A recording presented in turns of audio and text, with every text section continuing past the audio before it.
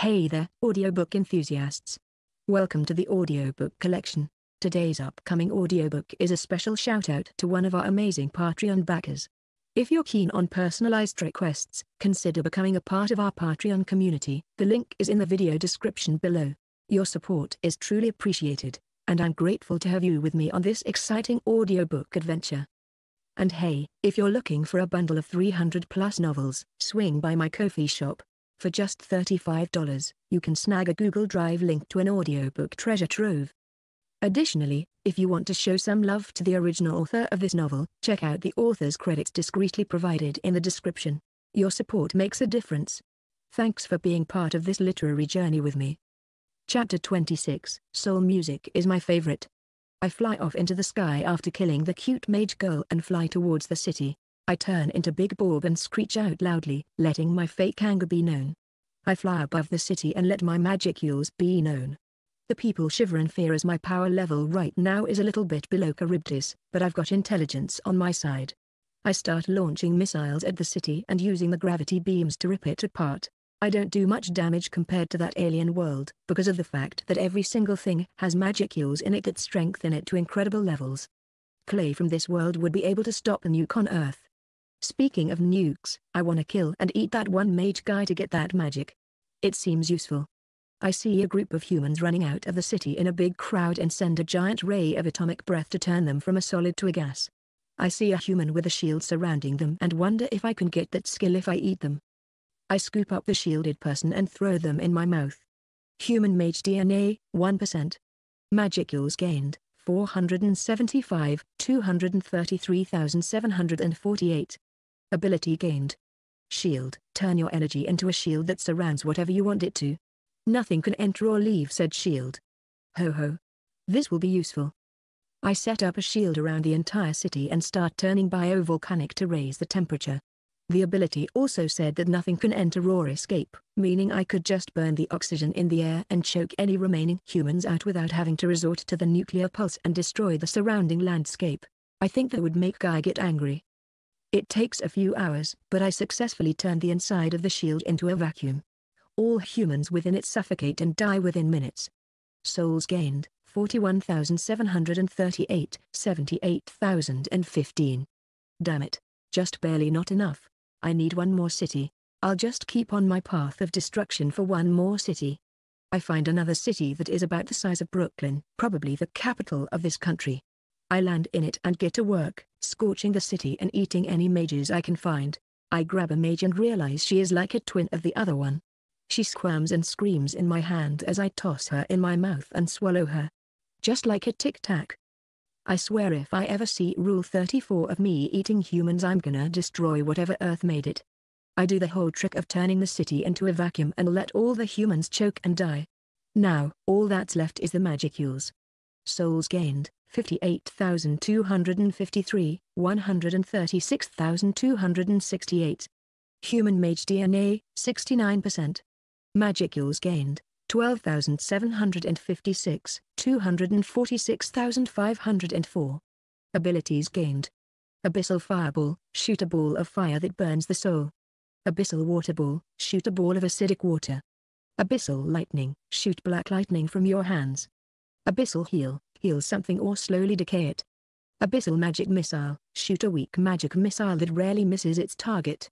Abyssal Earth Magic, you can control all dirt, stone, and metal.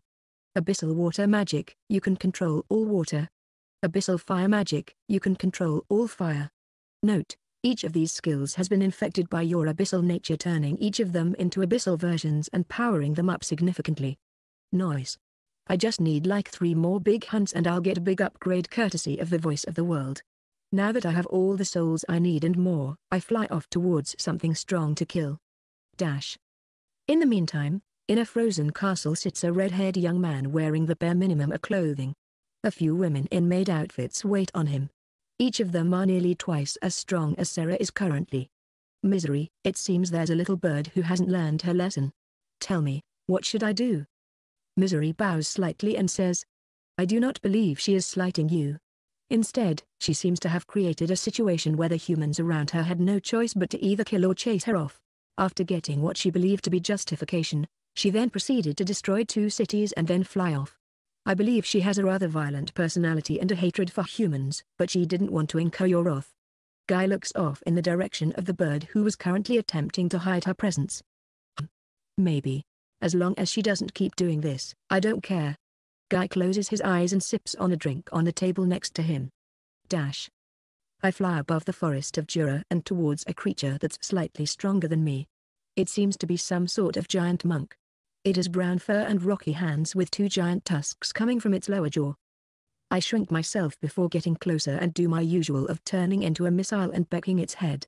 It seems to sense me halfway through and pulls its long arm up to block its head.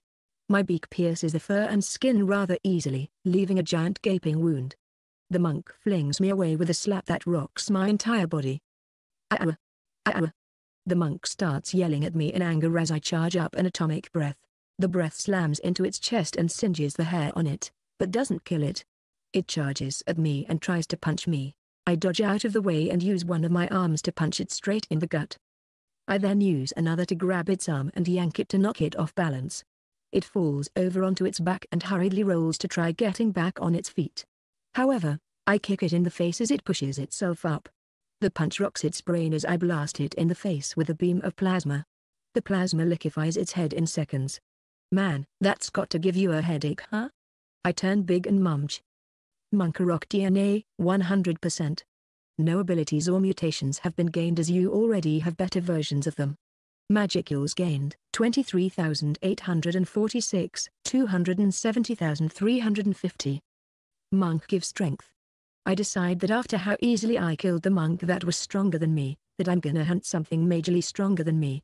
I can sense something strong in the ocean, but I'm not able to see what exactly it is. Something is blocking it. It's not as strong as say a true dragon or a true demon lord, but it's relatively strong. Stronger than me at least. I fly out to meet it and... It's big. It's blue. It's got quite the ugly mug. It's a sea serpent. Chapter 27, Mausozo. The sea serpent seems to be basking itself, as it's at the surface of the water. Now, this may be a tough fight so I won't pull any punches. I'm gonna start off with a giant wave of abyssal lightning. I start gathering energy into my four hidden arms and start letting myself fall down to where the attack can actually hit. I get about 200 meters above the water when the sea serpent finally opens its eyes and spots me. But, it's too late. Lightning rushes from my arms and slams into the water around the serpent, with one slamming into its back. It lets out a loud hiss and starts diving underwater. I keep firing lightning into the water and charge up a gravity beam, since that's also electricity. The yellow lightning shoots out of my mouth and slams into the water, evaporating most of it on contact and hitting the sea. Wait, the serpent isn't there? I can no longer sense the serpent's magicules. Suddenly, a giant splash happens below me as the serpent comes barreling forth out of the water and attempts to bite me.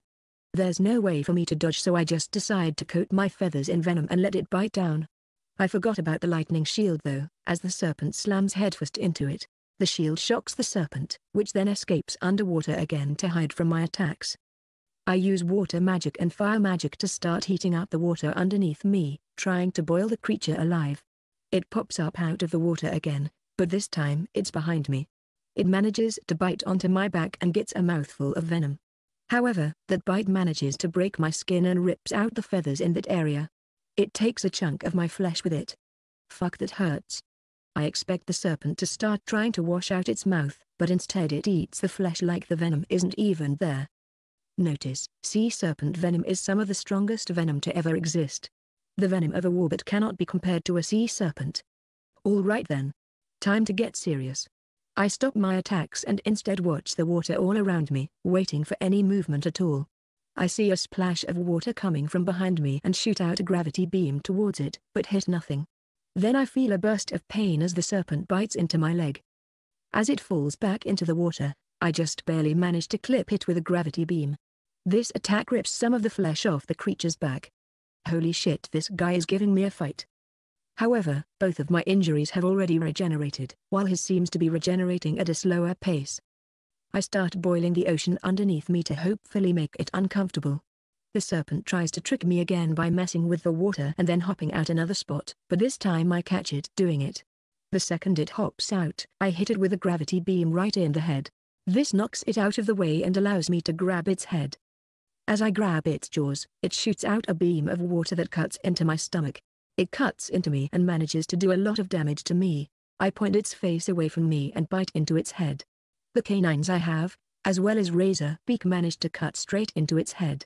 This manages to paralyze it while I pull it onto the land. As we get on land, it just barely manages to regenerate enough to start moving again, but I bite its head straight off. I quickly say its head to keep it from regenerating. I eat the rest of the corpse as well. Magic Magicules gained, 57,241, 327,591. Demon Lord Seed acquired. Hatching Demon Lord Seed. Suddenly, a voice is heard round the world. Individual Seraph has met the conditions for evolution into a Demon Lord. The harvest festival shall commence. Warning, forced evolution imminent. Warning, you are being forced unconscious. Whoop, I'm unconscious. Jeopardy theme intensifies Guy sits in his frozen castle with Rain sitting beside him. He sips on a red wine as he hears the voice of the world. Individual Seraph has met the conditions for evolution into a demon lord. The harvest festival shall commence. Guy smiles and chuckles lightly. Ha, so that's what the little bird was doing. I see why she went on those rampages. She knew about needing to collect souls for the festival. Rain gets a shocked look on her face. Guy had been keeping an eye on that bird for a while now, so she had also. She had seen this bird as a weakling who was caught up in unfortunate situations. First, she gets caught up in Milim's berserk attacks, then she is messed with by humanity, and then she gets into a fight with Rabadon the sea serpent. You are telling me that was all on purpose? Guy stops laughing and smiles while talking to himself. Looks like the next Walpurgis is going to be fun. Dash. AN, short chapter to use in writing a book that could actually make me a little money for once. Gimme power stones and write reviews so more people will click on my book. Comment. 14 Comment. Vote. Chapter 28, Harvest Festival. Gaia stands, watching her world slowly recover from the thousands of years these aliens had ruined it. Just recently, she started to finally feel the planet coming back to life. She sits on her nest, as she prefers her bird form. She had started creating offspring herself after her mother left her. However, they're nothing but mindless clones she refers to as oracles. She really wishes to become the god of the people that evolve here. A few times, she has had to kill a Jaeger that comes through the breach, but it's been a while since one has come in. She was in the middle of pumping some Titan energy into her planet when suddenly, Seraph is going through an evolution into a demon lord. All beings related to her shall receive the rewards of the harvest festival. Gaia jumps as the voice pierces her skull out of nowhere. Ear. Before she could get angry about the jump scare, she passes out in her nest. Dash. Ares and Remy are playing with each other on a green and blue Mars. Remy has been very committed to creating a paradise on it. Several sentient creatures have appeared on it since Sarah left. A few had to be wiped out by Remy, due to their inherently destructive nature. The Titans of Mars have fully recognized Remy and Ares as the Alphas, and the Hollow Mars has as well. The Titans of Mars are far calmer than the ones on Earth, with most being gentle herbivorous giants. There's a flying whale who seems to have quite good control over gravity, a titan similar to the Brachiosaur of Earth, and a giant creature made of stone and earth. Ares calls it a golem, while Remy calls it Rookman. Remy and Ares are playing around, throwing Earth's latest probe back and forth, when suddenly they hear a voice. Seraph is going through an evolution into a demon lord. All beings related to her shall receive the rewards of the harvest festival. These two don't jump however, as they're used to talking to one another. Remy's eyes sparkle as the seemingly older girl talks like a child. Ha! Mama got demon lorded? Ares nods her head. It seems she's in Tensura right now and just completed a big milestone. Remy nods her head and speaks again. Mama is also. Suddenly, both of the girls fall unconscious with a thud. The titans of Earth are freaking out suddenly. The Earth suddenly stopped its usual aura that seeps out to let titans know it's okay. Godzilla is having to run around and knock several titans back to sleep and tell them that everything is fine. Honestly, he now wishes Seraph was back to deal with these things. She got them done in hours while it took him two whole days. He is concerned however, Earth has never gone silent before. Chapter 29, Second Walpurgis. I find myself waking up with my entire body sore. This is definitely a first. I can feel so much strength. I feel like I could punch Earth to pieces easily. My arms hidden under my feathers feel like they could rip the Earth in half. I feel my longing for space grow even further. Harvest Festival completed. All known related entities have finished their evolution. Magicules gained, 487,265, 757,615. Cell or DNA, 100%. Abilities gained. Water spout, you can shoot a spout of water from your mouth. Water portation, the unique skill of the Cellord. While underwater, you are able to teleport to any other location in the same body of water in an instant. Mutations gained.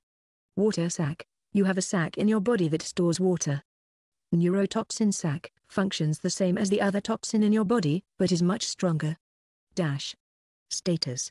Name, Seraph, Mama, Mommy, plus 6. Sex, Femoid.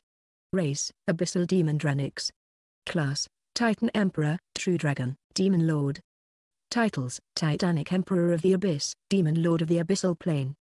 Wingspan, 1002 meters to 2476 meters. Height, 275 meters to 582 meters. Magicules, 169,676 to 757,615. Assimilated DNA, 17. Titan Emperor, your strength has grown you to a point where you can be considered near godlike by other titans. This is the final step before becoming a demigod. Your authority over the abyss has grown stronger. Titanic Emperor of the Abyss, attacks from creatures below 400k magicules will no longer deal any damage to you at all. Note, this does not apply to machines. Dash. Abilities gained. Abyssal Mini Dimension, as your authority over the abyssal plane has grown, your control has as well you are able to create and control your own miniature dimension. In this dimension you are immune to attacks from any being below the level of demigod. Abyssal Aura, your aura now unleashes the terrifying qualities of the abyss. Any weak being under the influence of your aura will not be able to stand. Abyssal Kin, any being related to you will receive a bonus to their strength while in the same dimension. This also makes them feel much happier in your presence. Abyssal Life Creation, you are able to create life related to the abyss. Note, Titanic creatures cannot be created for now. Abyssal True Dragon Haki, an aura-based attack that shreds weaker life forms and does heavy damage to beings of your level. Universal Sense, allows you to detect almost all sensations including sound, light, smell, and temperature in a wide area. In space this size is around double the influence of the sun's gravity. Mimicry, Universal Shapeshift, you are able to change every property of your body. Your minimum size is now 5 meters and your maximum is double your true size. Mutations gained. Abyssal being, your skin, feathers, and fur have all been infused with the abyss. Any creature below 100k magicules that touches you will die immediately. Note, does not apply to machines or your kin. Abyssal breathing, being in the abyss of space shall now give you energy in small amounts. Ah that explains my longing for space. I suppose I'm still weaker than Guy and Milim. I stand up now that my muscles are no longer sore and am just about to start flying when suddenly, a portal opens up in front of me. I shrink down to 2 meters but stay burb as a blue-haired maid walks out, Rain. Lady Seraph, Demon Lord Guy Crimson has called for a Walpurgis, if you would follow me. I nod my head and walk in behind her. I see quite a different place than the one from the anime and manga. I guess it makes sense, this may very well be the first or second Walpurgis ever. I can see that there are only four seats currently. After our evolution into Demon Lords, a lot of pipsqueaks are gonna declare themselves Demon Lords. The hall I'm in is large and grand, with a single table at the center. I walk over to the table and sit on my chair in my bird form. It seems I'm the first one here. May as well catch some shut-eye. I only nap for a few minutes before I feel a massive amount of magicules appear in the room. Guy walks in and takes his seat in one of the chairs. I ignore him, as if he wanted to talk without Milim and Ramiris, he would have. Eventually another mass of magicules starts flying towards the area of Walpurgis. Milim, obviously. She crashes in through the front door and runs over to her chair while yelling. Hey Guaye. Guy smiles at her and waves. Ramiris isn't here. I guess she's going through rebirth now, because the her from before would probably be here before me. Guy motions to Rain to introduce everyone. Lord of Darkness, Demon Race, Guy Crimson. She turns towards Milim. Destroyer, Dragonoid Race, Milim Nava. She then turns to me and motions for me to introduce myself. Abyssal Phoenix, Seraph. Guy looks at me with a smile and is about to talk before Milim interrupts him. Wow, you're a talking bird? I chuckle at her childlike innocence even though she's destroyed multiple cities. I turn into my humanoid form with a toga on me. Is this easier to talk to? Milim looks at me and gets stars in her eyes. Wow, but, why are you so weak? I smile at her and stop hiding my aura. It envelopes the entire room and causes misery and rain to fall to their knees. I then quickly retract it as I don't want to get them sick. Wow, that's like, almost as strong as me before turning into a demon lord. She's not wrong. Her transformation happened rather late. Same with Guy. Guy then speaks up. Well then. We have to give you a title. We chose ours at the first Walpurgis. You can choose whatever you want so long as it's not insulting to the rest of us. Milim chimes in. Oh, oh. Big Crow. I ignore her and pretend to think for a while. Titan of the Abyss. Milim looks at me and gets a confused look on her. It's cool, but why Titan? You're pretty tiny compared to the giants. I smile at her warmly and continue. I'm shrinking myself right now for convenience. My real size is too big for this room. Milim looks at the ceiling and back at me and says. That's pretty big. So you're as big as a true dragon? I can understand why she thinks that. This room only has a height of about 20 meters, and true dragons are pretty much the only creatures bigger than the room. No, dear. I'm much much bigger than a true dragon. I can show you later if you want.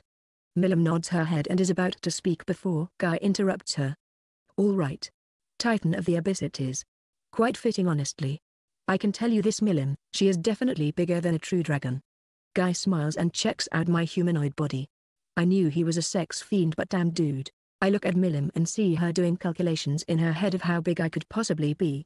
Well, this Walpurgis has been rather enlightening. Milim does indeed act like a kid and Guy is indeed a sex maniac. We spend the rest of the time eating and talking to each other before we finally decide to end it. Chapter 30, Becoming a God. After the Walpurgis ended, I was sent a ring that could be used to communicate with the other demon lords. Apparently there's already been someone who claims to be a demon lord but was never announced by the voice of the world. So here comes the age of weak-ass demon lords. During the Tenma War, I'll be sure to eat their corpses. They can at least act like supplements. I fly off towards the west to set up my own kingdom. Due to Milim destroying most of it, there's just land ripe for the taking. Maybe I'll be the god they worship and not the queen. Ooh maybe I can finally do something interesting. I turn into an almost completely human form, but still make myself 500 meters tall. The only monstrous things about me are my wings, arms, and feathery hair. I fly over multiple cities on my way to the west, using healing magic as I pass to cure everyone inside of it. I come across a completely empty field with a wide river running through it. I land and start using earth magic.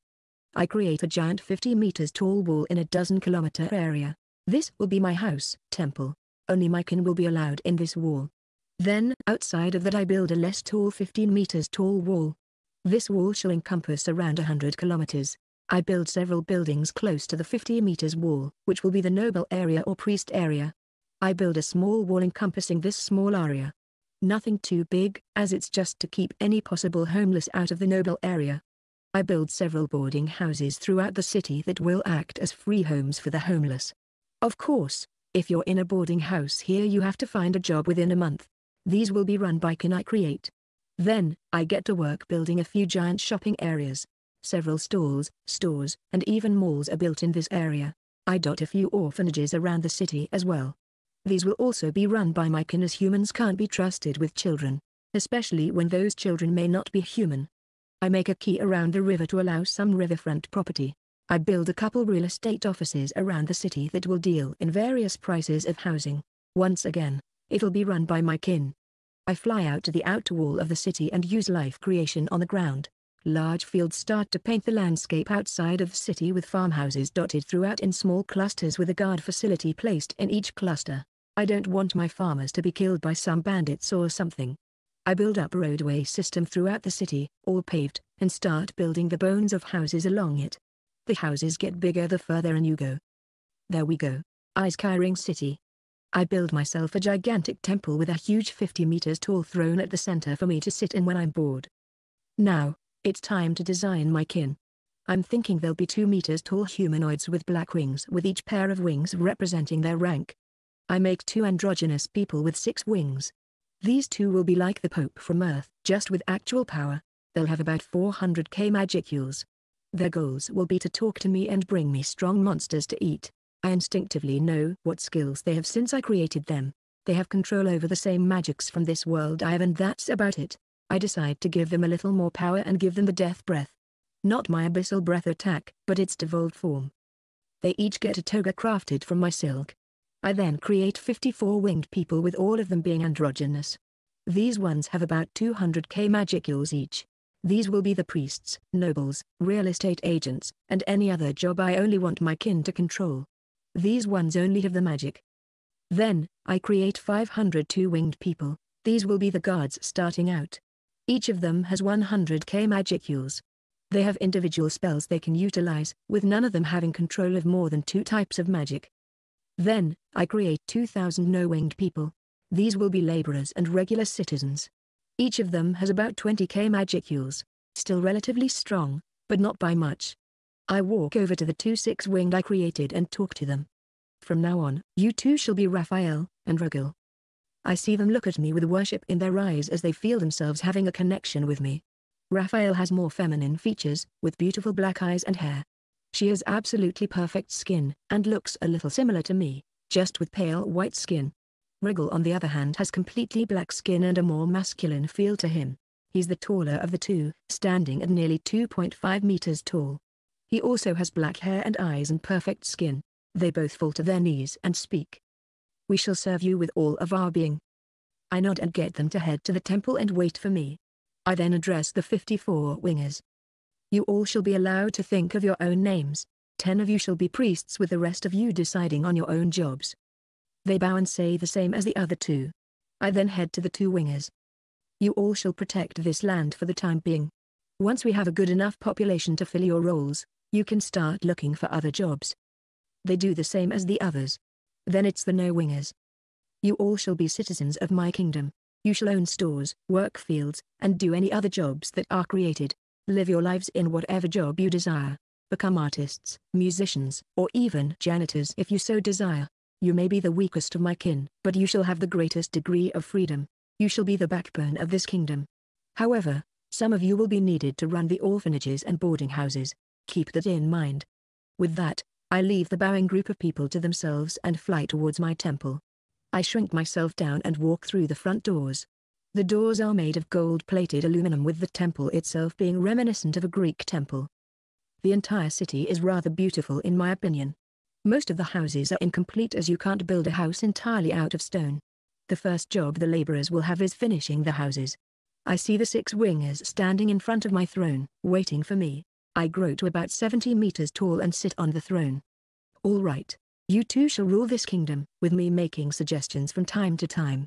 Anything you two don't agree on shall be brought before me. You are in charge of every person in this city. Do not let this power go to your head though, as both of you are easily replaceable. They bow their heads as Raphael asks. Venerable One, what shall we refer to you as?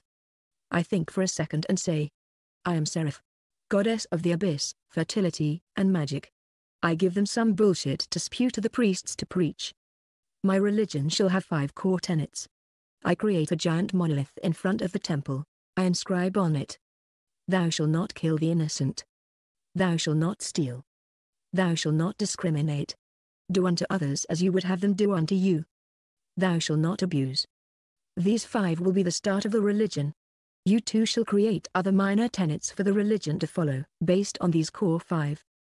They nod their heads as Rugal asks. What shall we refer to your kingdom as? I think for a second. This is a hard one to think of, but, eventually I settle on one I'm quite happy with. Abyssia. This is the kingdom of Abyssia. Now, onto your duties. I wait for them to leave the room and start creating another life form with seven wings. This person is female.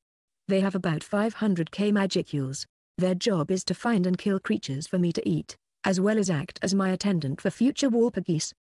She falls to her knees and looks at me with worshipping eyes. I can feel it instantly, she's attracted to me. Well, they all were to an extent, but it's like she's albedo and I'm Momonga. O oh, Venerable One, will you give this lowly being a name? I nod my head as I look at her. She's got most of the features I have. She has wolf ears, feathers on her hips, but normal human legs. Her face is absolutely gorgeous, and her skin is white as snow. She has a slim figure with C-cup breasts. She has slight hips on her stomach with wide hips. I create a toga for her and think of a name for her.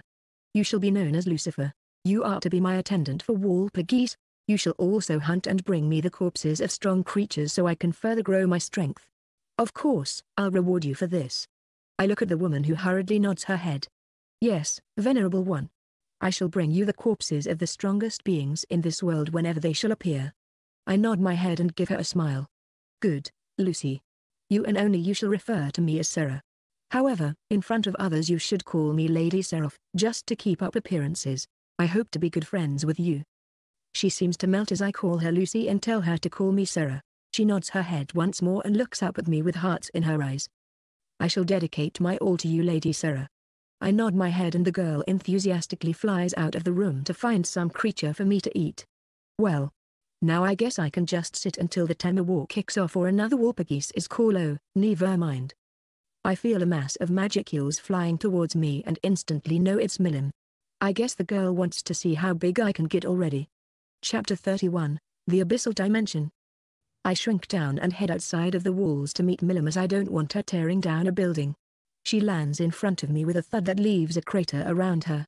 I create a gust of wind and clear away the dust around her. Hi Milim. She looks at me with a smile and says. Seraph, I've come to bargain.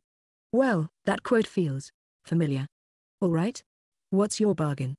She walks up to me and continues on. You show me your bigness and I'll show you mine. All right that sounded wrong. I think she means her battle mode. I mean, it's better than the clothing, or lack of, that she has on now. I sigh and change into my bird form. All right, I'll have to fly a little further away from you all right? Milim nods her head with an amu sound and I fly away about a kilometer away. I start to grow up to my max height, 582 meters. I could see Milim's face from all the way up here thanks to eagle eyes and could see her just staring up at me in shock and awe. I'm probably the biggest creature to ever exist in this world. I shrink myself back down and fly back to Milim. Bigger than you thought, huh? Milim just kind of stares for a second with her mouth wide open before saying. How can something get that big? I chuckle a little at her reaction and change back to my human form. I pat her on the head with one of my hands and motion towards her. Well? Let's see your big form. She nods her head excitedly. She walks back a little bit as her form starts to shift. Her features turn a bit more rigid, and armor slowly starts to cover her body. A giant red horn pushes out of her forehead and stops at just about another head above her. Now she looked like a dragonoid instead of a stripper. Oh, ooh, ooh, ooh, so cool. I say with faux surprise, she nods her head and lets out a few amus before turning back to her regular form. She looks at the wall behind me and asks. What's this place for? I smile at her and say. I was bored and decided I wanted to act like the god of some people. I thought it might be a nice change of pace instead of running around the world and hunting stuff. Milim nods her head and says. I understand. I have some people that decided they wanted to worship me when I saved them. They call themselves Dragon Bread Bowl or something. I pat her head a little and then tell her. You're welcome here anytime Milim, just be a bit more quiet with your arrivals, okay? She nods her head and smiles at me. Thank you Sarah, I'll be super quiet next time, I'm the best at being sneaky. As she finishes saying that, she takes off in a blinding mashup of light. Raphael and Vrigel appear beside me and speak in worried tones. Venerable One, are you okay? I nod my head to them and say. That was Demon Lord Milim Nava. She is to be welcomed into my temple at any time. Treat her kindly. They nod their heads as I move back towards my temple. As I get inside, I decide I want to see something. I open a portal to another dimension. My dimension. I walk through the black inky portal and come out the other side to be greeted by an inky black dimension with black clouds forming the sky. I can feel a connection with this place formed the second I walk in. I know I can control it. I use this power to create a house in the center and transform the ink into grass on the ground around it. The house is a log cabin with a TV, bathtub, shower, kitchen, and library in it. The library is stocked up with some of my favorite manga I've read. I pick up one called Archmage Villainous and start reading it. The story is pretty interesting to be honest. It's very much a porn though. I put the book down and draw myself a bath. The hot water that comes out of the faucet sends steam into the air. I strip off my toga and lay down in the bath. I may never have to clean myself, but that doesn't mean it doesn't feel good to soak yourself every now and then.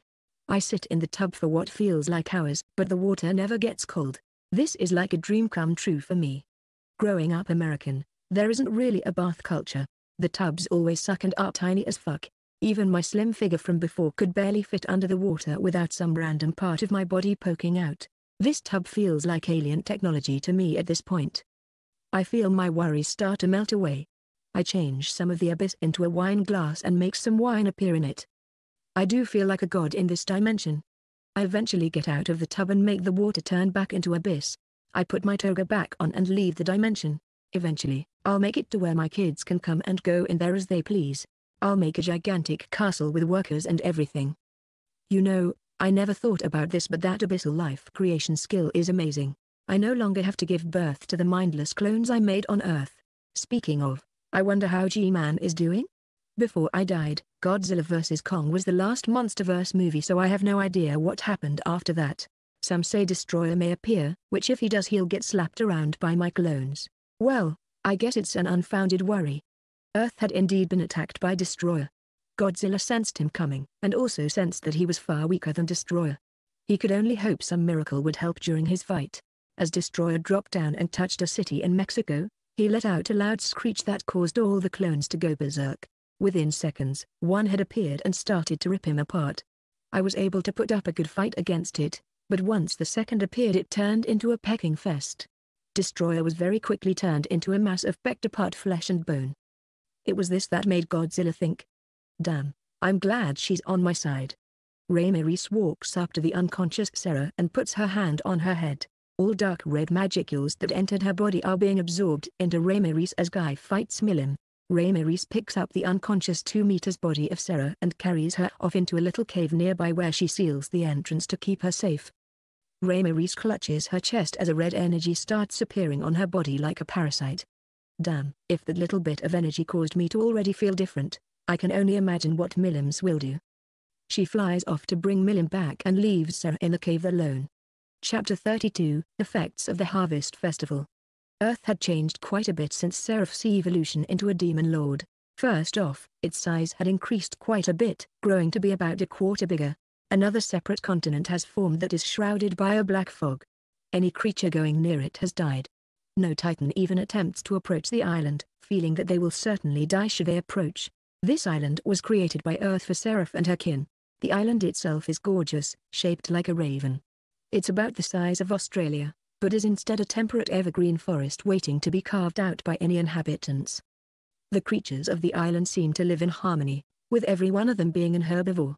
They help each other survive, with the taller goat-like creatures knocking leaves out of the trees they eat fruits from, and the mouse-like creatures eating the leaves dropped by them. There is however one thing that sets these creatures different from the rest of the earth. Each and every one of them has black fur, skin, feathers, or scales, the scariest part about them is the fact that each one of them starts off with about 50k Titan energy. Dash. Ares and Remy just woke up from the Harvest Festival. They look at each other and notice something. Their hair has black strands through it now and they feel some connection to another dimension. Ares decides to see the new dimension she feels attached to. She creates a portal to the dimension and walks through. She is greeted by an all-black cube with a mound of grass as the ground.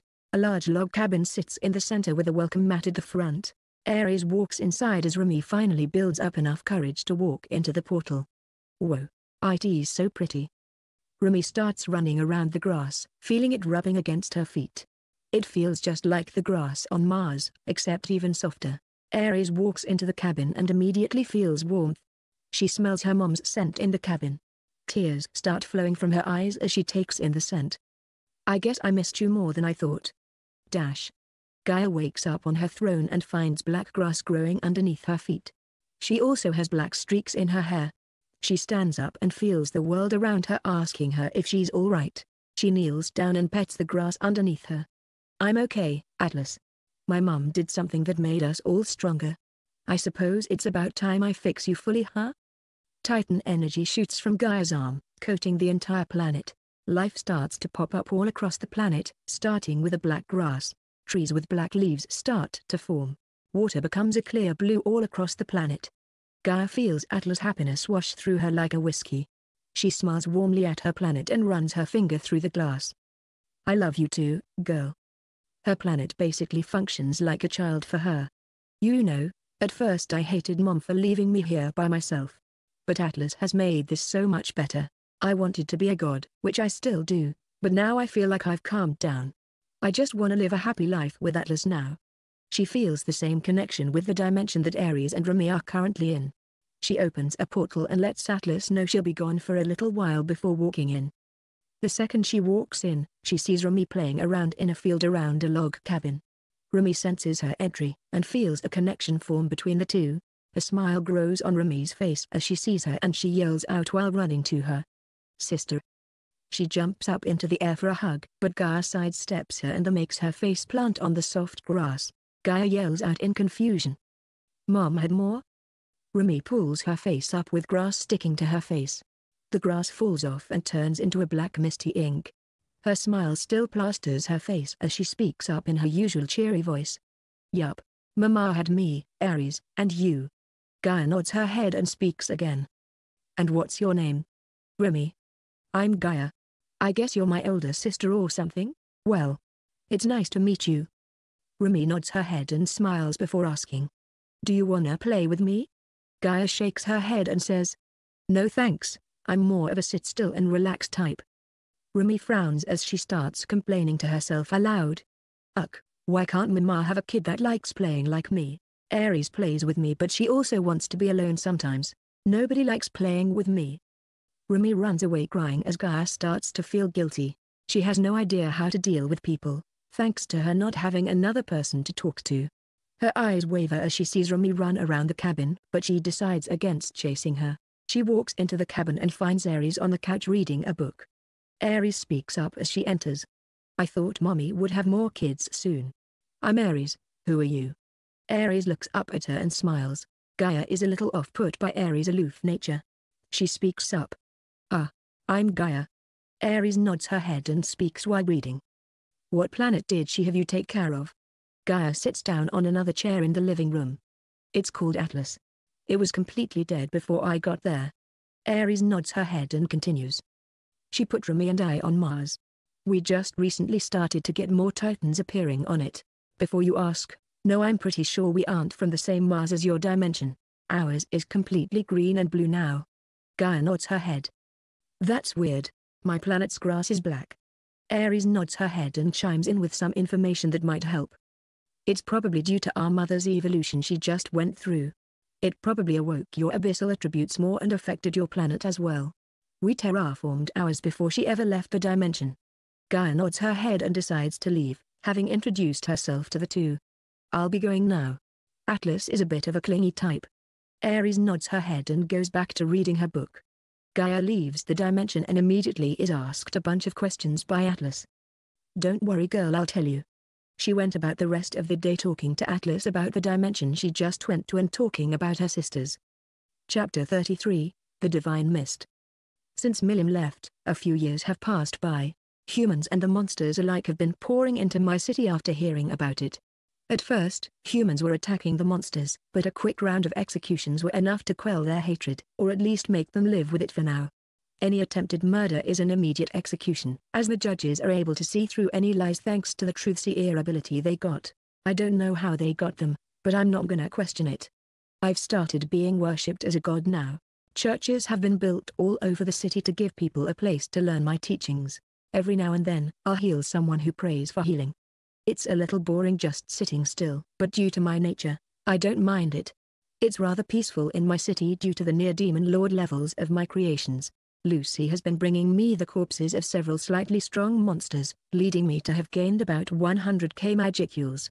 Magicules gained 112,759, 870,374. I've noticed that after becoming a demon lord, I've stopped incorporating other creatures' DNA into my own. I can feel why. My body may have gained a temporary boost from the other DNA, but now it's trying to purify itself. My body yearns to be free of its draconic side, to be a true phoenix, a being unobstructed by death, forged by abyssal flames. The creature even immortals fear. An abyssal phoenix. This blood is keeping me from my true strength. The filthy lizard blood. I think for a few hours on what I can do to become a pure phoenix. For now, I have no known methods, and I'm not some medieval doctor who believes you can bleed someone's heritage from them. I realize that I may get an answer as I grow, because I've still got a long way to go before demon lords reach their peak strength. I can feel another group of people coming to my city, in a caravan of sorts. As they are welcomed into the city, I feel something change within me. I feel warmth wash over my body. I feel a connection spread from me to every individual under my influence. As this connection forms, I feel every individual in the city look towards the temple and bow to pray. A golden light erupts from my body as I feel a halo start forming above my head and my skin starts to turn brighter. This warmth feels wrong. Suddenly, the golden glow from before is infected by a dark inky black. It makes my skin go back to its usual black color, and even turns it a smidge darker. My wings erupt into black flames as a dark mist forms around my body. The halo from before becomes dark like a black hole but still gives off a warm glow. This mist continues on. It expands from my body to the corners of the temple, then escapes from the openings and quickly consumes the entire temple district. It passes through the gates into the noble district and covers everything in black. It covers the common district and even begins going beyond the walls. At first, everyone felt fear well up in their hearts. But this fear is gone as the mist nears them. It fills them with a calm and warm feeling. Crying children fall silent, screaming men and women instead freeze in place. The priests all around the capital begin their prayers. O Abyssal One, bathe us in your presence. Let us be free of illness and unfearful of death. Protect us, for we are thy kin. Though our presence is meager, our belief in you shall shake the world. O Abyssal One. The mist grows to cover all territory controlled by the city-state of Abyssia. Every individual touched by this mist feels themselves calm to the point of true and utter peace. Their injuries are healed. Sickness is banished. They feel themselves grow more lively. The elderly feel several years younger. Any criminal feels themselves grow remorseful for their actions, no matter how petty. People feel all hatred, anger, sadness, or envy fade from their bodies. Everyone looks towards the temple, just in time to see her. Sarah flies above her temple, in a billow of smoke. Her wings bathed in a black flame that seems to swallow any light that comes near. She looks out over her city and lets out a cry. Scree e e e e e papa pashing. Her black halo burns brightly as she calls out, bathing the entire country in a dark glow. The clouds that were covering the sky that day seem to have vanished, leaving a bright blue sky. I go back to my throne and sit. Immediately, I'm greeted by a screen. You have successfully evolved into a divine titan. Status. Name, Seraph, Mama, Mommy, plus 6. Sex, Void. Race, Divine Abyssal Drenix. Class, Divine Titan, True Dragon, Demon Lord. Titles, Divine Titan of the Abyss, Demon Lord of the Abyssal Plane. Wingspan, 2,476 meters to 2,746 meters. Height, 582 meters to 684 meters. Magicules, 757,615 to 984,632. Assimilated DNA, 9. New abilities. Divine Realm, your abyssal dimension has been upgraded into a divine realm. Your divine realm can be whatever you imagine it to be, and the souls of your believers shall be there for eternity after passing away. Divine Presence, individuals much weaker than you cannot stand in your presence while this is active, and shall fall to their knees. New mutations. Divine Aura, your aura fills people with warmth and has a calming effect. Divine Titan, due to you gaining a significant amount of worshippers, you have taken your first steps towards becoming a god. Agent disease shall never affect you. Divine Titan of the Abyss, attacks from enemies under 700k magicules shall no longer affect you. Congratulations. Balloons. You have taken your first step into godhood. Chapter 34, Divine Realm. So. I'm officially divine huh? I can feel each and every one of my believers praying to me right now. It feels warm. I suppose I should spruce up my realm huh? Make it a big-ass city of paradise. Yeah. I'll do that. I create a portal and walk into my realm. Ah. I can sense it. Rami, Ares, and Gaia have all been in here. I miss them so much. Anyways, I turn the cabin and the grass into ink and spread my senses all around. The entire area of my realm in kilometers is around 100 million. Quite big. I'm gonna turn this entire realm into a utopian paradise. I'll use Earth in Star Trek as reference. And every store will be run by a mindless android. Nothing will cost anything because everything is infinite in this world. As I grow, so will the city. I'll also create a hidden area just for use by me and my family. It'll be a gigantic palace in the middle of a forest. Yeah. The city instantly gets built before my eyes. The skyscrapers shoot up into the air for kilometers and kilometers. Drones patrol the streets, picking up trash and cleaning any dust. Androids stock shelves with items that come in. They're completely human, orc, and hobgoblin features take them out of the uncanny valley. However, a blue light on their temples shows that they are in fact androids. The entrances to the city are in four corners. People who die will come back here however they desire to appear. They will then be picked up on a bus that will lead them to what I've affectionately called Heaven's Office. There, an android will give them papers to write their names on and will also inform them of the fact that they've been welcomed into paradise. I also have to make a hell for them to go to. Obviously, Lucy will be able to access hell. Her job is to torture their souls for however long their crimes warrant. Of course, pedos, murderers, rapists, and any other awful doing will result in eternal hell. I create a couple million demon androids who will be the administrators of some sort. I make hell as awful as possible. The walls and ceiling are holes that insects constantly crawl in and out of. The ground is a red fleshy pus-ridden carpet. Cells made of flesh the landscape. The demons feel right at home here but fuck it's gross to me. I leave. I'm not gonna make Lucy stay there. I'll just give her access and administrative powers over it. Now the utopia. I make the sky a bright blue with no sun in sight. Clouds dot the landscape and occasionally start rainstorms that avoid any living being and just wet the ground. The city itself seems a little bland with its futuristic nature, so I decide to make it futuristic nature. The houses are combined with natural structures, making the city feel like it's alive. Trees and grass paint the city like a beautiful orchestra of nature. Birds fly all around. Small monkeys swing from tree to tree with smiles on their faces. Dogs wander around, being fed by friendly android shopkeepers. There's a large park every block.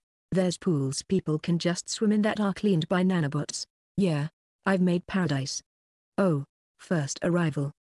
I teleport back to the entrance and see an elderly goblin woman here alone. She looks around in fear before a friendly goblin android walks up to her. Welcome mom and congratulations. You're the first to arrive in paradise. The goblin woman looks less scared now that she sees one of her own kind and asks. Young man, where exactly am I? The young android holds her hand and says. You've arrived in paradise. The realm of Lady Seraph. I am afraid that I must inform you, but you have died. Due to your good nature and adherence to the tenets, you have been allowed to reside in paradise, the world of unending happiness. The goblin woman falls to her knees and starts crying and praying to me. I feel so much warmth from her. It seems her death really worried her. I decide to show myself. I walk out from my hiding place and approach the woman. I know her name immediately as it is put into my brain. Missy. Due to the nature of naming for monsters, I decided that my guards shall name lower monsters and higher monsters shall be named by increasingly stronger ravens. This one was named by a guard. Missy. Raise your head. She looks up to me in reverence, feeling our connection. I put a hand out to help her stand. The small goblin shakily reaches out and lets me take her hand. You are the first person to arrive in this world I created for you. I call it paradise because it is as close as it can get to it. You'll never have to work if you don't wish to, as everything in this world is free. You shall be able to live for eternity in peace. Your family shall one day follow you should they believe in me and worship me. Congratulations. I rub her head and imbue a small amount of magicules into her to give her a warm feeling. Her form slowly starts changing into that of a hobgoblin woman about 30 years old. She finally decided on her form that she'll keep forever. I motion to the goblin android and he continues to take her to the bus that'll place her in the city. Two more people have arrived, but I'll not visit them. I appear back in my throne room and find my two angels in front of me. Yes, I've started calling the two six-wingers the angels. They both are kneeled in front of me and speak. Lady Seraph, I sense something has changed. I nod my head. I had sensed it for a while. The Tenma War is coming soon. I look at her and nod. Then, I speak. Indeed. This world is about to be invaded. However, I have something much more important to talk about. I've finally become a lesser god. The two angels look up at me with reverence as they notice the black halo above my head. I give them a second and then continue. As such, I have authority over my believers' souls. From now on, any true believer of mine who follows the tenets shall be welcomed into paradise after their death for all eternity. However, any who break the tenets shall serve time in hell where they shall be tortured for a set amount of time. Incorporate this into the teachings of the church. They both nod their heads and walk off to start a meeting with all priests. I stare up into the sky as I feel the energy from the actual angels of this world. It's disgusting. It's not divine at all anymore. It feels more corrupted.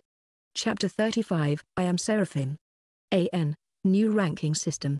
I'll only cover the ones that actually matter for now here, the rest can be found in an auxiliary chapter. Thanks Overlord underscore 1000 for the suggestion. B rank, 100k plus magicules. A rank, 500k plus magicules. S rank, 1 meter plus magicules. SS rank, 10 meters plus magicules. SSS rank, 100 meters plus magicules. X rank, 1B plus magicules. Dash. I spend the next few years increasing my power as much as possible for the Tenma War. Lucy kept hunting and hunting for me, bringing me stronger and stronger creatures as the world strengthened itself in preparation for the war. I was just a little bit off of 1 million magicules when Lucy brought me another creature. Magicules gained, 14,825, 1,013,071. Evolving. Oh god. Dot. Dot greater than dash greater than less than dash less than dash v dash v greater than dash greater than caret caret dot. Dot. Uck my head. I feel like Kirby just danced inside my skull. Wait. Why am I stuck inside my temple? Congratulations on reaching 1 million magicules oh shit. Actual balloons. Dash. Status. Name. Seraph. Mama. Mommy. Plus 6 race. Divine abyssal phoenix. Class, Divine Titan, True Dragon, True Demon Lord. Rank, S. Titles, Divine Titan of the Abyss, Demon Lord of the Abyssal Plane. Wingspan, 2,746 meters to 4,264 meters. Height, 684 meters to 1,032 meters. Magicules, 984,632 to 1,483,010. Abilities gained, Abyssal Phoenix Fire, a flame that burns only the soul, leaving the physical body untouched. Can spread, and cannot be put out without your consent or a stronger being. Abyssal Teleportation, you are able to teleport to any shadowed area or anywhere in the void of space. Mutations gained. Immortality, should your body die, you will be reborn in a pile of ashes somewhere in the world you currently inhabit.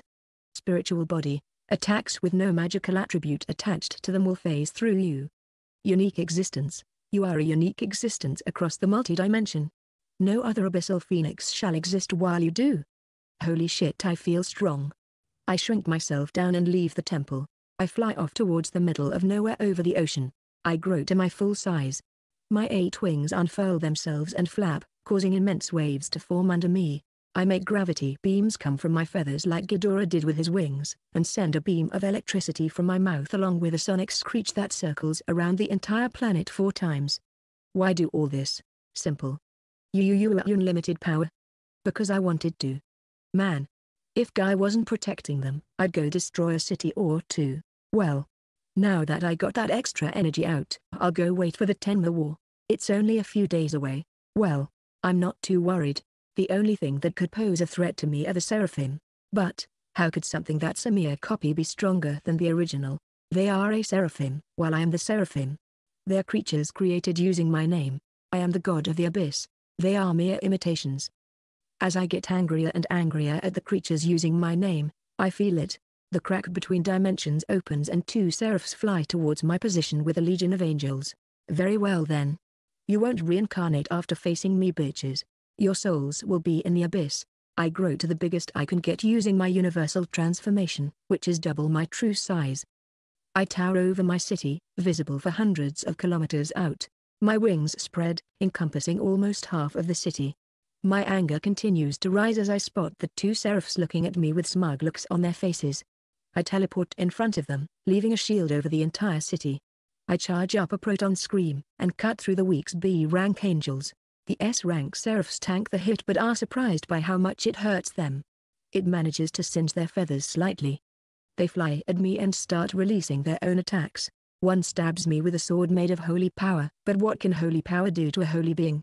The sword pierces me like a regular sword, and the seraph wielding it gets burned by my acidic venom that coats my body. I cover my entire body in abyssal mist. The seraphs seem to understand its danger, as they immediately fly away, leaving their sword inside me. I laugh at them and talk. My my, I suppose even mere imitations can be slightly strong. Allow me to introduce myself. I spread my wings out completely, nearly reaching the height of Mount Everest. I am Seraph. The being you are named after. I am not a mere angel. I am a fucking god. Something about these creatures pisses me off beyond belief. I want to show off. I want them to see how worthless they are before me. I want them to grovel in pain. That is my name. A blast of abyssal mist spreads from my body, catching one of the seraphs off guard. The body starts convulsing as its soul is ripped from its body and thrust into the abyss for all eternity. The body itself ages. Which shocks the other seraph, as they are supposed to be unaffected by age. In its panic, it shoots me with a beam of holy magic. I absorb the magic like it's nothing. It turns to run away, but I teleport into its shadow and appear in front of it. It falters backwards for a second as it sees my eyes staring at it in anger. It turns again to run, but I appear there too. Do you understand now, little angel? I am sovereign. I am a god. I, am. Seraph. I blast its body with a combination of abyssal mist and phoenix fire. It screams in pain as its soul is ripped from its body and tortured with phoenix flames. Until it finally disappears. Everyone else managed to kill the angels without issue, except humans of course. Guy and Milim probably dealt with the angels with even more ease than I did. I lift the bodies of the two seraphs to my face and eat them whole. I feel an overwhelming amount of holy magic invade my body. Magicules gained, 264,829, 1,747,839. Abilities gained. Abyssal Holy Magic, you have control over the holy element. Abyssal Holy Spear, you have a holy spear attached to your soul. This spear is able to sense the souls of whoever it pierces. I then eat the rest of the angels' corpses, Magicules gained, 121,059, 1,868,898. I look to where the fleeing seraphs are and know I won't have enough time to kill more. This is quite sad. I let a few fakes get away. They better avoid me during the next wars. I've already got a taste for angel blood. Chapter 36, Walpurgis. Guy calls for a Walpurgis immediately after the angels had left. I call Lucy back to accompany me to the meeting and rename her to make her stronger. I just name her Lucy, which causes a spike in her power. She grows to be just barely S rank. I wait for either Misery or Rain to show up and take me there. Eventually, a green-haired maid shows up before Lucy and I. Lady Seraph, if you don't mind. She bows slightly and motions towards the portal. I shrink down to my smallest form and hide my magicules. I land on Lucy's shoulder and tell her to walk through. We're greeted by the same empty hall with a table set up in the center. I mentally command Lucy to sit at the table and I look at the new arrivals. A vampire girl, Luminous. An angel of all things, Dino. And a giant, Dagruel. As usual, I arrive before the other three and relax on my subordinate's shoulder. The other three seem to be around middle A class with only Dino being low S. Since my aura is retracted, they seem to think that Lucy is the demon lord. Hey, cute. Eventually, Luminous speaks up. So, anybody know why Maid suddenly appeared to bring us here? I see, she doesn't have a haughty attitude just yet. Dino, who was half asleep, says. I dunno, maybe something about demon lords? Dagruel just sits in his large chair silently, nervous about who exactly could be late to this party. Ramiris is the first to show up with her little fairy form flying in from the top. She sits on the table instead of her chair and introduces herself. Hi, I'm Ramiris. The strongest demon lord of all time. Well, I'm her prime yes. In that form, she's just barely B rank. But she has nothing to worry about because me, Guy, and Milim would all three destroy anyone who would attempt to harm her. She looks over to me and says. Oh my gosh, Seraph, you look so different. I get Lucy to answer for me. Yeah, I went through an evolution after killing those filthy bugs from earlier. She takes the hint and nods her head. Yeah, those guys were so weak. I could have killed them all in a second, but I wanted the rest of you to have them as training. The little pixie nods her head triumphantly while I chuckle to myself. Suddenly, a pink blur grabs me off of Lucy's shoulder. Sarah. Uh, Milim picks me up and goes around in circles for a while before calming down. She holds me in front of her and continues. I missed you. Also this tiny form is really cute. I sigh at her and speak. I was trying to hide myself from the newbies for fun but, ha, hi Milim. I reach out a hand and pat her head. Luminous, Dino, and Dagruel all look at me confused as they hear my voice. Then they look back at Lucy, who plays the part of the servant perfectly. She stands back up and pulls the seat out for me to sit on. I teleport over into a shadowed part of the chair and sit. Milim comes over to the table and sits to my left, closer to Guy. She then continues on. I had a lot of fun after seeing how big you are. I saw Veldora destroy some city and got so excited I went and fought something. But that thing was too weak so it exploded with a punch. I wanna come play with you soon. I nod my head and say. That does sound like fun, Milim. Maybe I could get you a house near my temple. She nods her head and says. That sounds good. Some people who call themselves Dragon Faithful have started to worship me or something. I nod my head. My city does the same to me. I look at Dino and see him mutter something under his breath about Seraph. Hey, he should know since he was a Seraph too. Strangely, I feel no hatred for him. Maybe it's because of his fallen status. Eventually, Guy shows up. Well, everyone. I think you all have a good idea why you're here, correct? I nod my head while everyone else doesn't. Oh yeah. Ramiris and Milim are a little special. Well at least you do Sarah. We're here to discuss what happened a few days ago. Misery, if you wouldn't mind. He motions for Misery to start the introductions. Lord of Darkness, Demon Race, Guy Crimson. Labyrinth Master, Pixie Race, Ramiris. Destroyer, Dragonoid Race, Milim Nava. Titan of the Abyss, Abyssal Phoenix, Seraphim. Giant Race, Dagruel. Vampire, Luminous Valentine. Fallen Angel, Dino. After the introductions are done, we start the discussion about what happened. Guy starts off. So, we were attacked without warning by angels. The beings designed by Veldanava to protect our world. Quite a crazy twist, eh? Milim speaks up next. Yeah, but they were pretty weak weren't they? I chime in. Yes, but their numbers is the problem. I was attacked by a little over a hundred, However, one of my attacks easily got rid of the fodder and left two others who I killed right after. I don't wanna reveal my ability to kill souls to Dino who I know will betray us in the future. Dagruel speaks up for the first time. Those creatures killed my people and ganged up on me like bugs. Luminous speaks up. Luckily I was able to get a barrier around my city so I didn't suffer any damage. Dino keeps his mouth shut while Ramiris starts talking. Yeah, I got attacked by hundreds upon millions of them and I took them all out with these hands. She holds up her fists and makes punching motions with them. The banquet continues on for a while longer as the names of the demon lords becomes widespread, no doubt due to Luminous and her racist ass church. I can already sense my church and hers going head to head someday. We have completely opposite teachings. After the banquet is over, I head over to Luminous to speak with her. So you're the girl who started another religion huh? I hope our religions never butt heads. I hold my hand out in a friendly manner. She nods her head and shakes my hand gently. Indeed. It would be quite unfortunate. And then I continue on. Well, with how different our religions are it's only a matter of time, especially because my entire kingdom is built upon the backs of humans and the monsters alike. That and we don't allow the preachings of other deities within my kingdom. Luminous nods her head and walks away, not knowing how to answer me. She's quite cute honestly, too bad her believers are such bad apples. The banquet ends, I say my goodbyes to Ramiris, Guy, and Milim. Then, I head home with Lucy, teleporting out with her. Chapter 37, Time Skip and Reunion. 700 years later. The past few hundred years have been relatively lax. Lucy will bring me increasingly stronger creatures to eat while I waste my time away in paradise watching TV and playing video games. Paradise almost has a population of 2 billion now, as my religion has spread beyond the borders of my kingdom. Speaking of my kingdom, the capital has grown to be larger than Tokyo with a population of about 36 million. I've had to introduce skyscrapers and the methods to make them to keep up with the population. The people have become much more modern compared to the rest of the world. Due to my magicules soaking into the ground, deposits of magisteel and crystals have been dug up and hipokute herbs are being cultivated.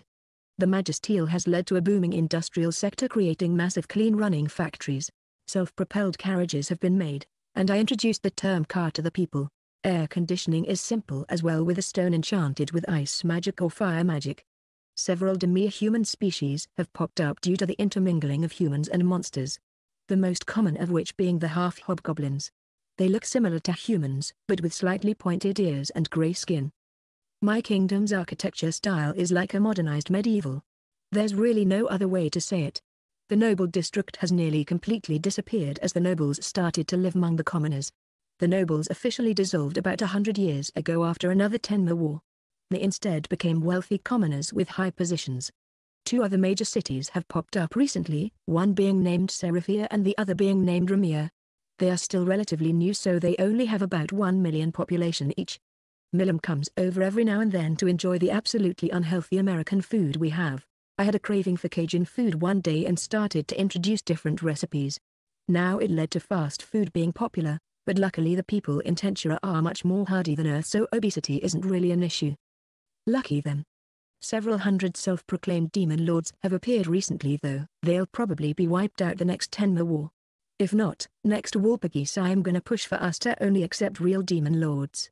It's annoying hearing a voice come from the ring every few hours. Speaking of Walpurgis, I told Milim about how I'm gonna hide myself as Lucy's pet from the other weak demon lords before doing a big show. She immediately agreed due to the unspoken rule of not getting in each other's way. Honestly, the only reason I hide myself is because of how annoying these wimps are. There's one who proclaimed themselves a demon lord and he was only D rank. Of course, Guy killed that one because he was just too damn annoying. I've reached 3 million magicules during this time. I haven't went through any evolutions though. And my system keeps telling me that the abilities of the creatures Lucy catches are just too weak to even bother assimilating them. I've noticed recently that about 100 years here is only one on Godzilla Earth. I have no clue why, but I'm guessing it's something my bird brain is too stupid to understand. Milim has reached about 17 meters magicules in this time while Guy is at 23 meters. I've noticed that the average power level has just been going up recently. Before, the average power of the world was low F rank and it is now increased to high E rank. That may not sound like much, but this is a significant increase in power. Like a 10x increase. Charybdis appeared a few decades ago and was sealed by the good Olay hero. Lucy wanted to hunt Charybdis for me, but I decided I wanted to show off a little when it's inevitably unsealed. My church and Lumai's did indeed bump heads a few times, Hers called for a crusade against mine and lost badly due to the natural strength of my people because of my residual magic magicules. Of course, I would have intervened but my angels wished to prove themselves. I took their souls to use to awaken my children eventually. Every 10 years I use healing magic across the entire kingdom, healing every illness and injury incurred during that time. My citizens have come to call it the Festival of Dark Mist due to the mist that forms for the time I heal them.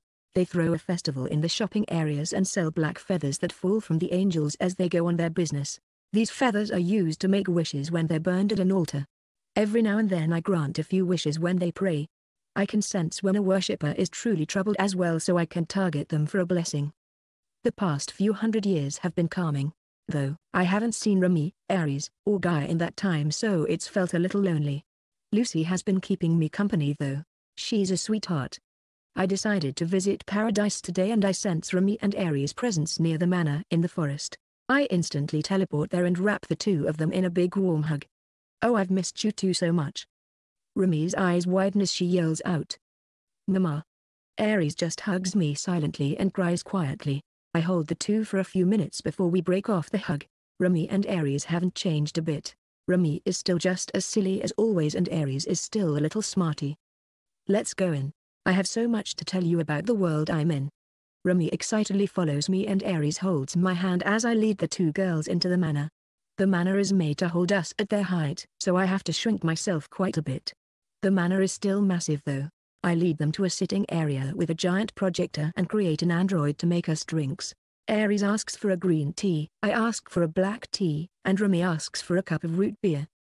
We spend a few hours just chatting and catching up. I think Remy may have a little crush on Mars, who I found out actually has a female soul, so Remy is Yuri confirmed. Ares on the other hand just wants to document the changes that Mars goes through and eventually go back to Earth's moon and terraform it. Now, it's time for me to do something that'll change them forever.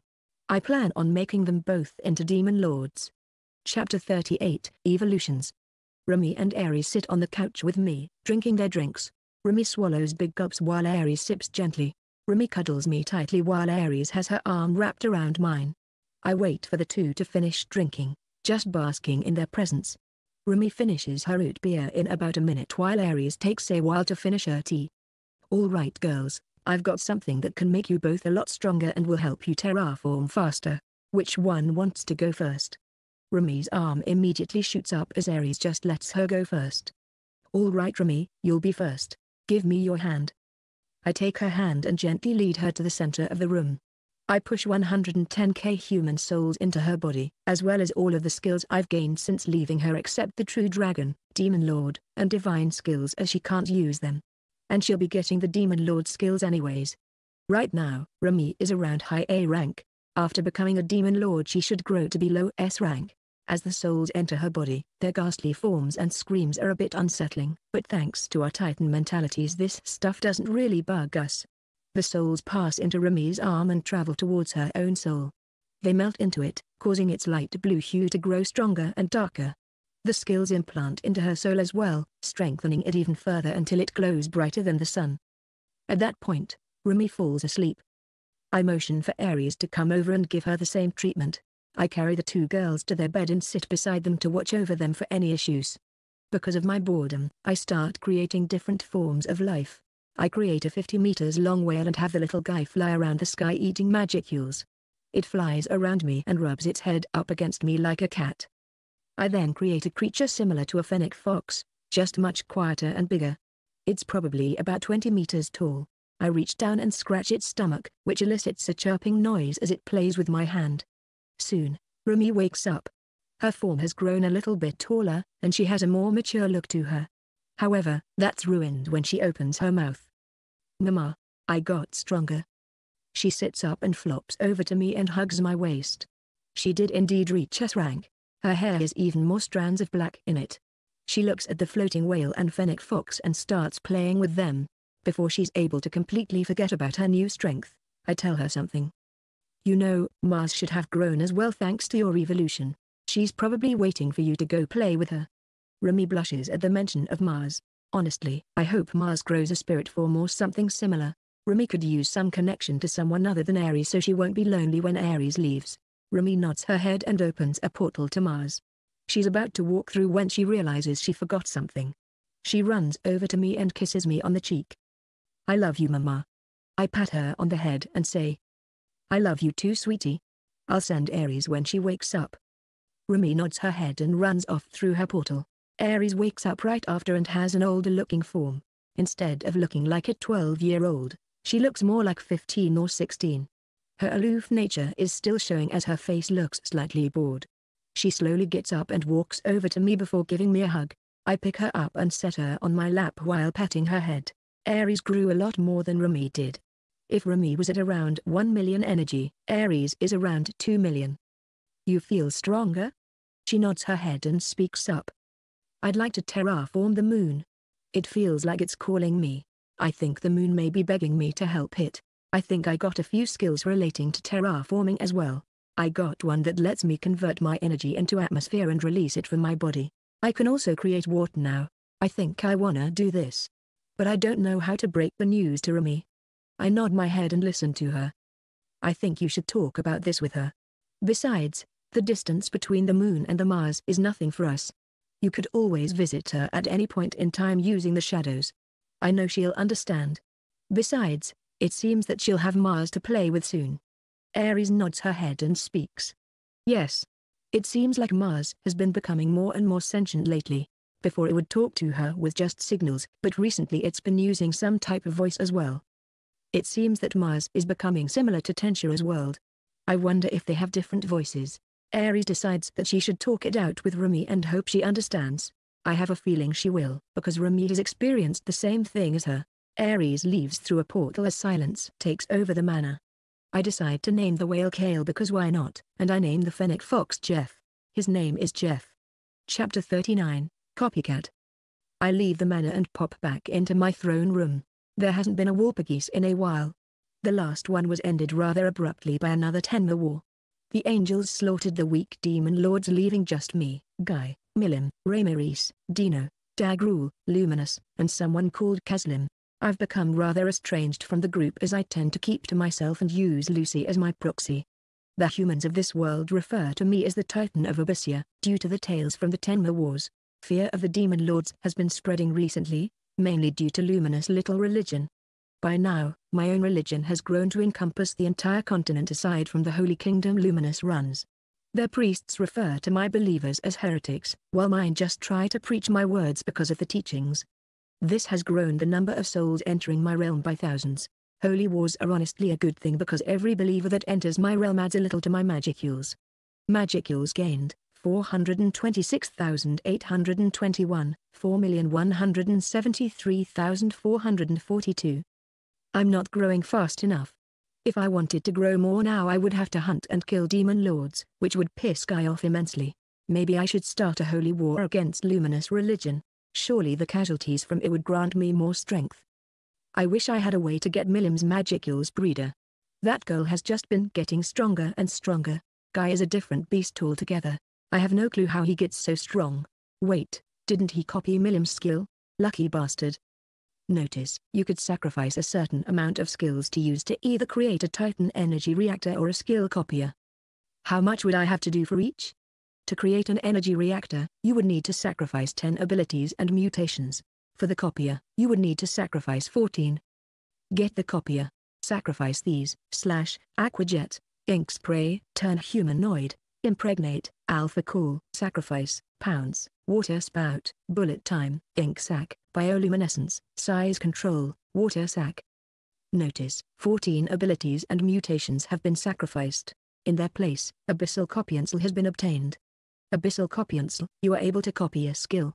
After each copy, the ability will be on cooldown as it forces an ability to merge itself into your brain. Depending on the skill, it can be as little as an hour or as much as one meter years. Oh damn. This ability seems pretty fucking good. I'll have to copy the Magicule breeder during the next Walpurgis. I could call one and just say it's to chat. Not like demon lords have anything better to do. I bring the ring up to my face and say, I'd like to call a Walpurgis. After a second, Milim chimes in. I'll react. Guy's voice then comes from it. Sure. Then luminous. I was wondering when the next one would be. Everyone else either ignores our voices or just doesn't respond. Walpurgis is on. Dash. Misery eventually shows up and brings us to the usual banquet location. I didn't bother bringing Lucy this time and instead changed my body to look like her. I take a seat and just sit silently. Luminous arrives first and looks at me confused. Ah, Lucifer? Where is Seraph? I wink at her and say. I am Seraph, Lucy is back at my temple. I just didn't want to bring her today. She nods her head and takes her seat, no longer talking to me. I don't mind that honestly, I'm a bit of an introvert myself. Dino and Dagruel arrive next. Dino has had a spike in power. I suppose he just got Lord of Sloth Belphegor. He's at about 3 meters magicules now. Once I get Milim's reactor, I'll be swimming in energy. Kazarom shows up with a mask on. I wonder if they're actually ugly under there or just wearing the mask for fun. Then, the star of the show arrives. Sarah. Milim runs up to me and hugs me. I wonder why this girl is so obsessed with me. Hi Milim. I pat her on the head as she runs her face into my stomach. I suddenly feel time stop as a selection screen shows up in front of me. Wow, even beings like Milim are stopped by this. I guess the system really is a higher creation. The screen lists off all of Milim's abilities and skills from weakest to strongest. Things like fire magic show that it would only take about two hours for the skill to cool down, whereas something like the Wrathful King would take three years to cool down. Magicule Breeder Reactor however shows that it will take me about half a year to recover the ability. I tap on the reactor and a screen shows up. Are you sure? Why, N. I tap yes and I feel a burning sensation in the side as my full body brain is manipulated to hold this skill. It's not unbelievably painful, but man is it annoying. Time restarts as the ability goes on cooldown. Magicules gained 1, 4,173,443. Magicules gained 1, 4,173,444. Only tell me after I wake up from a long nap. Noted. Milim continues rubbing her face on my until Guy shows up. She then gets up and walks to the side before sitting down. Ramiris shows up with Guy and looks at me a little confused, but then realizes why I look like Lucy. Guy then speaks. So, why did you call us today? I nod my head and speak up. I wanted to say hi since it's been a while. That's it really. That and I'm sure humanity is shitting themselves right now because of this meeting. Dino, Dagruel, Luminous, and Kazaram all get a look of really bitch on their faces. I look at them and say, if you don't wanna catch up you can always leave. At that, Dino, Luminous, and Kazaram all leave. Dagruel stays however. I look at Guy and say, I may not be able to attend the next few Walpurgis. I'll be sleeping for a while after this, maybe over 1000 years. I'll wake up every 10 more though. If it's something urgent, inform Lucy as she could wake me up. Guy nods his head. I'm a bit annoyed that you won't be attending, but I understand. It's your nature right? I nod my head and say. It's not easy keeping such a big body energized. Dagruel seems a little confused as he's never actually seen my Titan form. Guy, Milim, and Ramiris on the other hand all seem rather understanding. Of course, I'm bullshitting but they don't need to know that. Well, it seems like my time here in Tensura is gonna be peaceful after all. Chapter 40 Testing Out New Strength 300 years later. Well, I'm officially the strongest demon lord. Turns out, the magicule breeder is slower than I thought. The more magicules my body becomes saturated with, the less magicules it creates. However, if I actually used my body's magicules during my attacks, it would never let me run out. Apparently, Kazaram named Clayman his replacement if he ever dies. We're not really supposed to do that but waits. Milim has visited multiple times over the past few hundred years, and each visit she makes, I copy another skill of hers. Several of them were ignored due to their uselessness, but I took a couple from her. First, Milim Eye which was copied and renamed, Abyssal Eye. I can detect lies, see through walls, and even see the exact level of someone's strength instead of just a general feeling. Next, Milim Ear was renamed to Abyssal Ear, which makes me able to hear something on the other side of the planet if I so desire. Abyssal Eye and Abyssal Ear combined together to create Abyssal Sense, which basically does everything those two do and also gives me the ability to feel things through shadows. Next, I gained her Space Magic ability that allows free teleportation and a dimensional storage. Then, her Drago Nova and Drago Buster abilities. And finally, the big boy.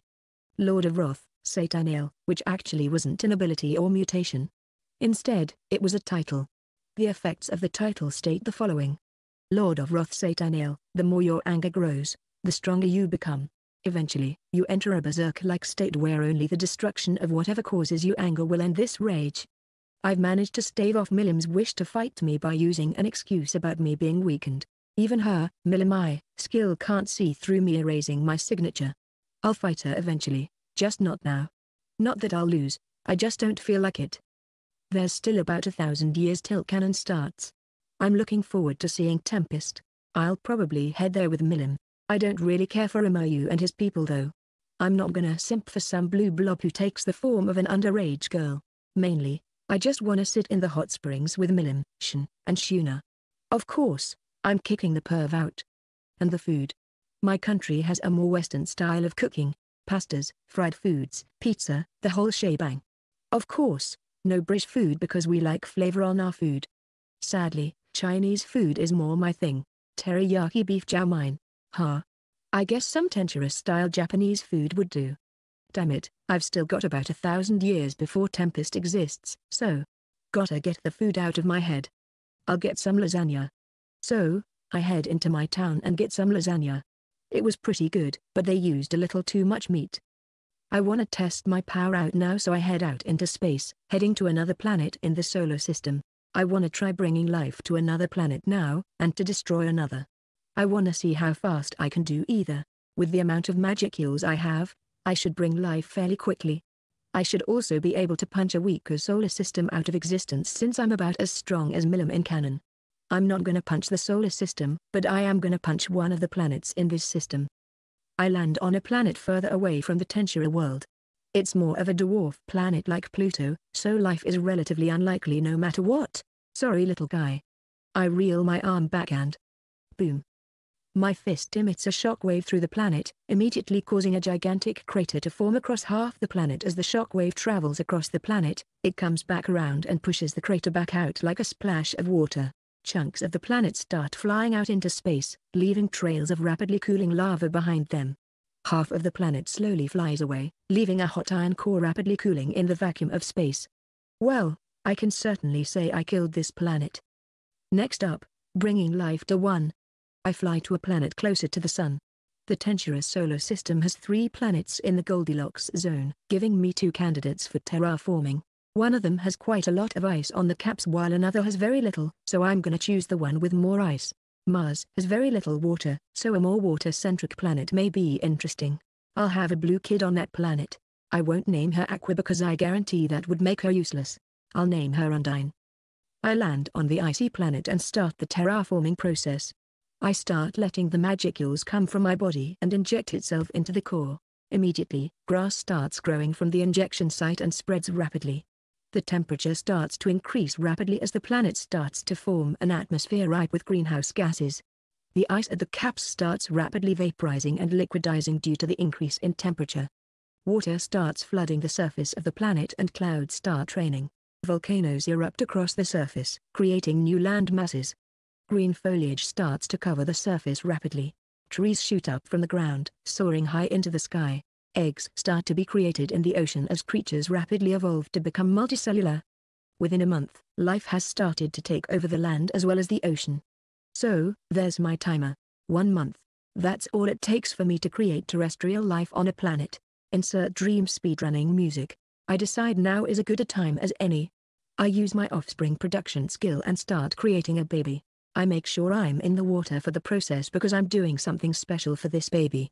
First things first, I give her a single set of wings covered in blue feathers. I give her a human body with arms as well. Her hair is long, blue, and feathery. And the most glaring difference between her and my other kids, I give her the bottom half of that one sea serpent I killed on Tensura. Her more fishy features shine through, with her bird features taking a bit of a backlog. Then, I finally start making her. The whole birthing process seems to have gotten easier. It takes only a week for me to create and lay the egg, and about a month for the egg to reach its full size of about 200 meters. Unlike my other children, she will be born a demon lord due to her nature as a clone of mine. I could have made her not a demon lord, but I would rather my kids be strong. Her egg starts to crack as one hefty blow rips through the shell. She swims out in the blink of an eye and crashes into my chest. Mother. I'm greeted by a typical onee-san-type girl with rather big breasts, blue hair, blue eyes, and a beautiful voice to top it all off. I rub her head and let her swim around with me in her arms. Hello there Undine. It's nice to finally meet you sweetie. Chapter 41, I'm back baby. Undine and I spend a few years together getting to know each other. She's very sweet, and loves to baby people. I'll have to give her an imouto-type little sister eventually. She seems to be rather peaceful and loving too. Undine named the planet Lapis on account of its blue color. Something happened a few years after her birth. Lapis eventually was overtaken from me by her on accident. I honestly didn't care, but Undine came up to me crying and asking me to forgive her. Mother please forgive me. Undine swims over to me with waterfalls coming from her eyes. She wraps her arms around my waist as her tears soak my side. I grab her face and wipe away her tears before saying. It's okay dear. I was wanting to give you this planet anyways. Lapis is your baby to take care of. She looks up at me with teary eyes and says, Really? I chuckle a little to myself and rub her head. Yes, really. She smiles at me and straightens herself up. She then hugs me and is about to say something as the entire planet starts shaking. I sense that the temperature of the planet has started rising incredibly quickly and the ice caps on the north and south poles have started rapidly melting. Slowly, the sea levels start rising faster and faster. Entire continents get covered by water, mountains start drawing, canyons start becoming trenches. Eventually, the entirety of the land disappears under the waves, except for one point. A single mountain top remains above sea level. I teleport over to it using water portation. I get out of the water and stand on the mountain top. Undine follows right behind. I speak to her as I feel her connection with Lapis grow. I suppose little Lapis wanted to make it more comfortable for you. Undine smiles and looks down at the ground. I look at her and ask her a big question. Would you like me to make you a sister? Undine looks at me and shakes her head no. No. Thankfully you gave me the same ability you used to make me. I think I'll have my own children one day. I understand that you have to leave me here, but I can always come and see you. After all, I also have the void-born skill.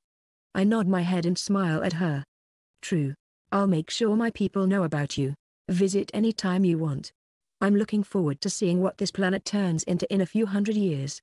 She smiles at me and gives me a hug before I leave. I've been feeling a need to get back to Tensura for a while now. I jump up into the air and take off. I've been staying in my humanoid form for a while now, so I change into Burb as I'm in the air. I blast past the atmosphere and end up in the void of space. Beautiful colors as always. Purple, blue, red, green. All kinds of colors created by distant supernovas and galaxies fill my eyes. Bright stars dot the landscape around me. Space isn't as empty as people think. I quickly fly back over to Tensura and enter the atmosphere before shrinking myself down to around normal raven size. I fly over to my kingdom and notice something. Over 90k soldiers from Luminous Kingdom marching towards my citizens. My own soldiers are marching out to meet them, but a prayer cuts into my mind. The voice of a little goblin girl. Please Venerable Seraph, don't let my daddy get hurt. Mommy can't sleep because of her worries. Brother has chased after him as well. Please. Please keep them safe. Well. Can't let a little girl down can I? I speak in the little girl's mind. Worry not, little one. This battle was over before it started. I fly to the battlefield between the two armies and decide to make a flashy comeback. I instantly grow to around 100 meters tall and let my aura crash down on the enemy army. Every soldier in their army falls to their knees and groans as I let out a sonic screech. Scree papa shing. My body flares up as I activate the biovolcanic ability. Using the ring, I contact Luminous. Luminous, an army of your kingdom is outside my capital. Do you mind if I just kill them all? After about three seconds I get a reply. Just don't kill all of them. Leave a few of the stronger ones please. Anyone else is fine. All right, thanks. I hear Guy come over the ring as well. So now these rings are just used for communication? I reply back. Shouldn't have made them so convenient. And then I ignore anything else coming through. I face the army of my people and speak. People of Abyssia, hear me. For centuries, we have been a land of freedom and love, spreading acceptance and warmth throughout the world. The people before you stand for the opposite of my ideals. They are the very definition of the word bigot. They stand to take away the acceptance we have spread over the centuries, and commit genocide on the majority of our people. Your friends, neighbors, and family. Thus, I condemn these sinners to death. After saying that, I turn around and release a cloud of death mist over the army, only sparing the lives of the strongest ten among them. The ten survivors watch as their friends begin to die around them before quickly decaying and turning to dust. Even the equipment on their bodies and grass under their feet turns to dust, leaving no evidence of them ever having existed. The ten soldiers all look up at me with fear-stricken faces. Hear me, lucky survivors. Go and spread word of what has happened. Let your leaders know of how futile their endeavors truly were. Tell them of how truly foolish they were to believe they could overcome the might of a living God. The ten soldiers quickly get up and run off towards the forest behind them, leaving behind their weapons and shields. I turn to face my army once more. You all have done well. I commend you for your bravery. A wave of abyssal healing magic spreads from my body to grow to cover my entire kingdom in seconds, healing every illness and injury that had occurred while I was gone. It also extended the lifespan of everyone affected by 40 years. I guess it's back to playing God. I'm back baby. Chapter 42, I am. An ant. After being greeted by a crying Lucy who practically cursed me for leaving from those few years, life went on rather peacefully. Luminous Little Church branded me and my followers heretics, which ended up backfiring on them.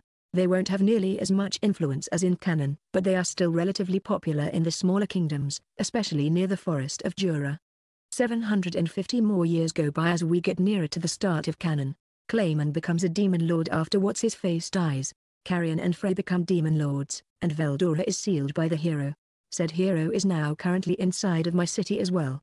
She's walking towards my temple in a beeline. Suppose she would know about me being a disruption in the timeline, or she just sees me as a dangerous being. I send a telepathic message to the guards to let the little hero in as I finally completely awaken from my sleep. Magicules gained, 9,852,927,334. 13,128,629,839. Congratulations on reaching 10 billion magicules. Oh, confetti now. Geez, I guess I've still got a bit of a way to go before becoming a demigod. The hero is led up to my temple by a guard.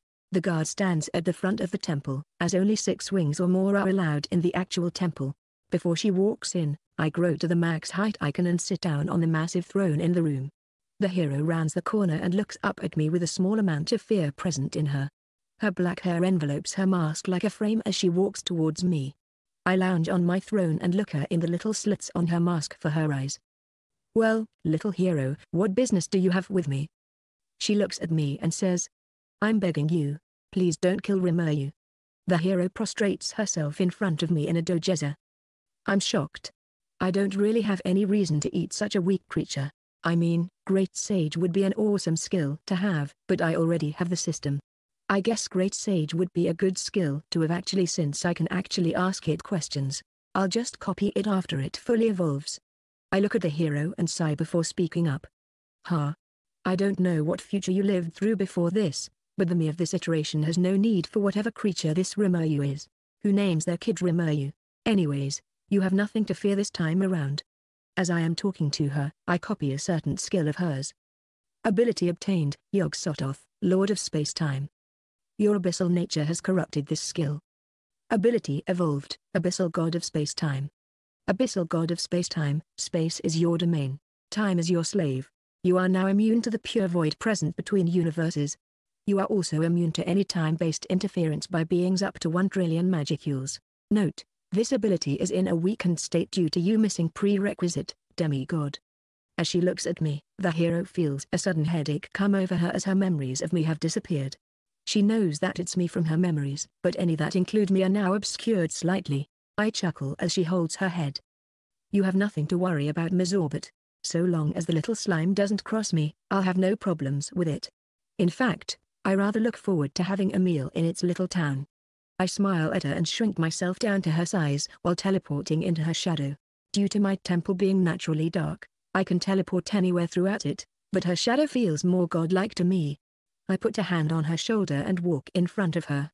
While you're here, you may as well enjoy some of the things my city has to offer. I highly recommend a restaurant called the Silver Cat. They specialize in cooking monster meat and offer some pretty great wine. Unfortunately, I won't be joining you because... I stretch my arms out and yawn. Ha, you did wake me up in the middle of my nap. A blush comes over the hero's ears as she hears this. It's kind of cute actually. I smile at her and teleport back into the bed in the back of the temple and call Raphael to come show her the way out, and a guard to show her to the silver cat. The comfy feeling of Arachne silk made sheets. Ha. I never wanna leave this bed. It's so warm and soft. Though, it is a bit lonely. Luckily I'm a titan, so loneliness doesn't really affect me hey. I may cuddle Lucy when she's back from whatever she's doing. Suddenly, I feel an immense amount of fear as I drift asleep. I try to wake myself up, but my consciousness fades away. As I fall asleep, I feel a pulling sensation. I open my eyes and find myself in a pitch black space. No stars. No air. Nothing. Just emptiness. That fear I had earlier seems to slowly fade as I feel the environment, or lack thereof. It feels like home, even more so than the void of space. It feels cold, yet comforting, like being embraced by the ghost of a loved one. As I float forward, I feel myself bump into something. That fear wells up inside me yet again and I'm forced to my knees. My entire body shakes and sweat builds up across my body for the first time since my birth as a titan. A gigantic red eye opens up in front of me. I am an ant to whatever this being is. I hear a series of clicks and pops in my head as this being speaks to me. Note, anyone who doesn't feel like typing that into a Morse code translator, the translation is here greater than. With that, my consciousness fades yet again, and I jolt awake. Ability gifted, Abyssal Star Devourer. I am an ant. Chapter 43, Star Eater. As I jolt awake, I find myself back in my bed, soaked in sweat. I gasp for air and feel something coming up from my chest. I start coughing and crawl over to the side of my bed. I cough up some sort of black sludge that immediately starts eating through the black carpet of my bedroom. I use some abyssal breath to destroy it, but find that it does absolutely nothing to it. Well, it's a good thing that whatever that is is out of me. I see that over time the glob of whatever starts to disappear after eating through about a foot of ground. I replace the ground underneath, but I'll need an actual worker to recarpet the bedroom. Anyways, with that out of the way, describe that new skill. Abyssal Star Devourer, you are able to gain energy from stars like a parasite. The amount of energy differs from star to star. Ah. It's pretty cool. I'm gonna go try it out real quick. I inform Lucy this time, and take off into the stars yet again. I teleport to a random star system with very few planets. This system only has two full planets and they're both dead. I fly over to the star, which is bright orange, and activate my skill. I feel my body start heating up and absorbing the plasma from the star. My body falls into a sort of trance and starts orbiting around the star. Several hours go by as I fully absorb the entire star. I slowly but surely wake up. K-class star absorbed. Magicules gained, 738,526,862, 13,867,156,701. Note, size change hasn't taken effect due to the gravitational interference of a star. Due to your absorption of this star, size change can take effect. This will lead to growth without limits. You will still be able to enter star systems, however in your full size you may possibly develop your own gravity. Proceed? Oh, ah. Uh, yeah, sure. I feel myself curl into a ball and change into my bird form yet again. A sort of egg forms around me as I fall asleep. Dash. Ten years later. I wake up and see pitch blackness around me. I feel sluggish, like I could sleep until the end of the universe and nothing would wake me, except of course a notification from the system. Magicules gained, 108,453,952, 13,975,610,653. Showing status. Dash. Status. Name, Sarah and hash exclamation mark dollar at dollar Seraph, mama, mommy, plus 6. Race, Divine Abyssal Phoenix. Class, Divine Titan, True Dragon, True Demon Lord. Rank, Y, Titles, Divine Titan of the Abyss, Demon Lord of the Abyssal Plane. Wingspan, 4,264 meters to 364 kilometers. Height, 1,032 meters to 59 kilometers. Magicules, 1,483,010 to 13,975,610,653. Dash. Wait a goddamn mother father he double hockey sticks fudging second. How big am I? At my full size, I'm nearly five times the size of the Earth's atmosphere. If I stood on Earth's surface at full height, I'd be visible from space. And this is only after like a few thousand years. If I had this magicule generation during the Godzilla era, I'd be in the quadrillions of magicules, so I'd probably be bigger than the sun. Ha. Milim's ability really is unfathomable. I decide to fly over to another star and absorb it, but find a system interface blocking my vision. Note, due to the rapid gain of magicules, this ability has a cooldown for your safety. If you absorb this star, it will take a few years before you are able to absorb another. Well, that's fine with me. My full size is rather gigantic to say the least. When I orbit the star, I look similar to a planetoid. Slowly, the corona of the star I'm orbiting starts to envelope my body. This star is more yellow than orange, and feels much hotter than the last one. It takes a few days for me to absorb this one. G-class star absorbed.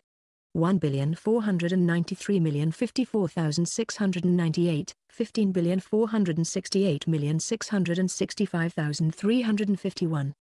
Wingspan, 364 km to 392 km.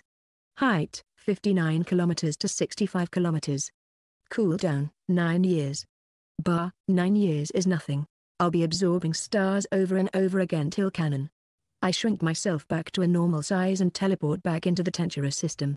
I stop by Lapis and say hi to Undine, then I head back to Tensura. I fly back into my temple and get a sitrep from Raphael. Apparently, the Western Holy Church has started condoning acts of violence against members of my own church. Ah, I never mentioned it. My church is called the Church of Holy Shadow. I didn't come up with the name, but whoever did probably couldn't think of anything else and wants better suggestions in the comments. I tell Raphael to let my believers know that it is right to defend oneself as well as others around them, so do not hold back against those fuckers. I'm sure she'll word it better. I wouldn't care if my religion became a warlike one, but I doubt it will with the tenets I set up at the beginning. I inform Raphael that I'll be asleep for about another hundred or so years. I get up and go back to my bedroom, finding the sheets clean, the bed made, and the flooring recarpeted. My room has no light whatsoever, being completely dark when the door is closed. I lay down in the comfort of my bed, letting the silk wrap around my naked body. Obviously, the only way to sleep is naked. As I drift off to sleep, I imagine myself in a onsen, drinking a whiskey and eating some noodles. Ah, I can't wait. Time to sleep till canon. Chapter 44 Attack on Milim. The past 140 or so years have been rather uneventful. Every 10 years or so, I'll go and absorb a star. So far, the strongest one I've absorbed was an A-class. It gave me about 3 billion magicules, but I had to wait for around 20 years after that one. Yet, even that A-class star is pathetic compared to what's in front of me now. A gigantic bright blue star, nearly purple. It's incredibly beautiful, yet also incredibly hot, enough that even with my biovolcanic nature activated, this is overwhelmingly hot, though, not even close to enough to harm me. I hold my hand out, feeling the warmth of the corona wrapping itself around my hand like a puppy begging for its owner's attention. I activate my ability and feel my chest immediately heat up. My cracked skin and veins filled with lava glow brightly. I become brighter than the sun of Earth. The corona starts flowing into the cracks in my skin, dyeing the lava blue. I fall into a deep slumber as I absorb the star. I orbit around this blue giant and glow brighter and brighter as time goes on.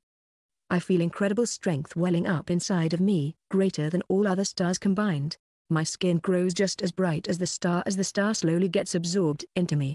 A beautiful array of colors flashes in my eyes, causing me to open them. I see a few other stars moving towards me. Weak stars, but stars nonetheless.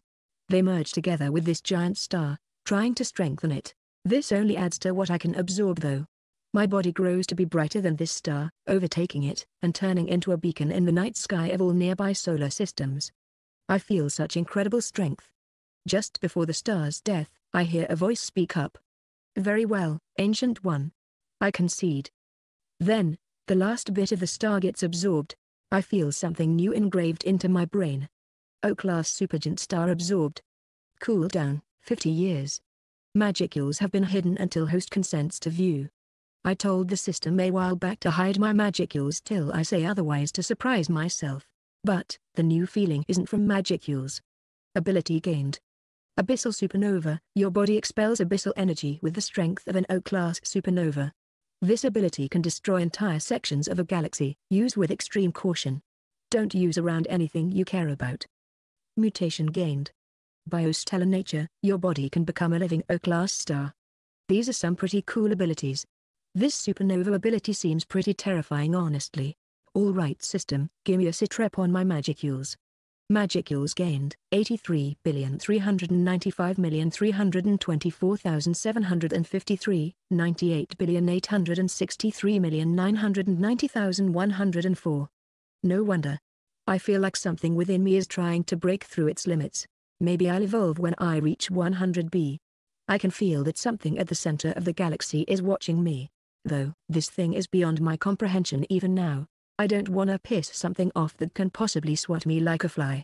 It's nowhere near the same as that one thing that gave me the ability to eat stars, but it's strong nonetheless. I also feel that the Abyssal Star Devourer skill is about to evolve as well.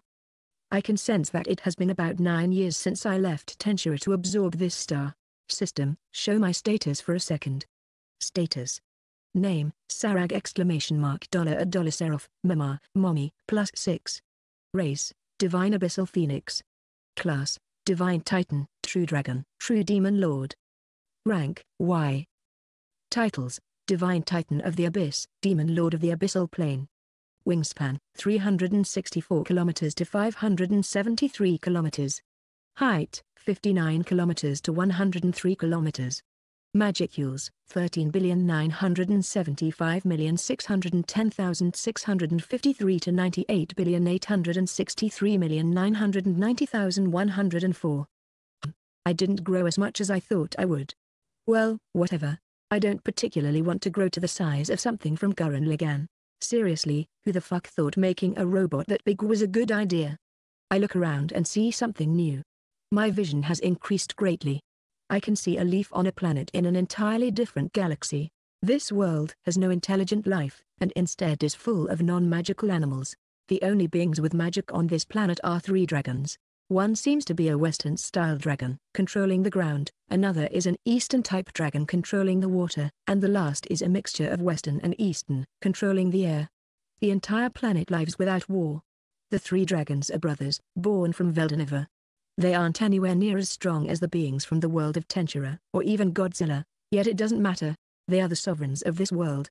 Seems rather beautiful. I won't ruin it by introducing magic. I'll name it Eden. Never mind. There is a human-like species on it. But they are primitive, using sharpened sticks to hunt and protect themselves. Interesting. I hope those dragons deal with them before they ruin the planet. I shrink myself back down and teleport directly into my temple. As I teleport in, I'm greeted by Milim who says, Seraph. You won't run from me anymore, play with me. Now. She has a pouty face on as she grabs my arm and holds it. I chuckle and rub her head before speaking honestly. I'm afraid you're not my match Milim. Even Guy would be unable to do a thing against me. I just had a big power up. I'm almost as strong as Veldanava now. This is false. Veldanava is a being above Z rank. Oh? And what rank is that? Inner god rank. Inner god? Is that what a demigod is? No. Inner gods are beings that rule over a single universe, or even dimension. Demigods are beings a single rank below that, ruling over worlds or galaxies. While you may have a skill that can destroy a part of a galaxy, an inner god can destroy multiple galaxies or even universes at once. That must be what the being at the center of the universe is then. I come out of my thoughts and see a teary, puppy dog-eyed Milim looking up at me. I sigh and acquiesce. Ha. All right. Hold my hand, I'll take up somewhere we can fight without holding back. She jumps in the air. You a exclamation mark tilde okay exclamation mark tilde. She grabs my hand and I teleport us into the void outside our galaxy. I teleport a few kilometers away from her and say. All right, let's start. She shakes her head and says. Knew you. You're not facing me at full strength. Become a bird and grow. I sigh and say. You sure you wanna face me at full size? She shakes her head yes and looks at me with stars in her eyes. I wonder if I could devour those stars, hey, so, I teleport even further away and grow to my full size.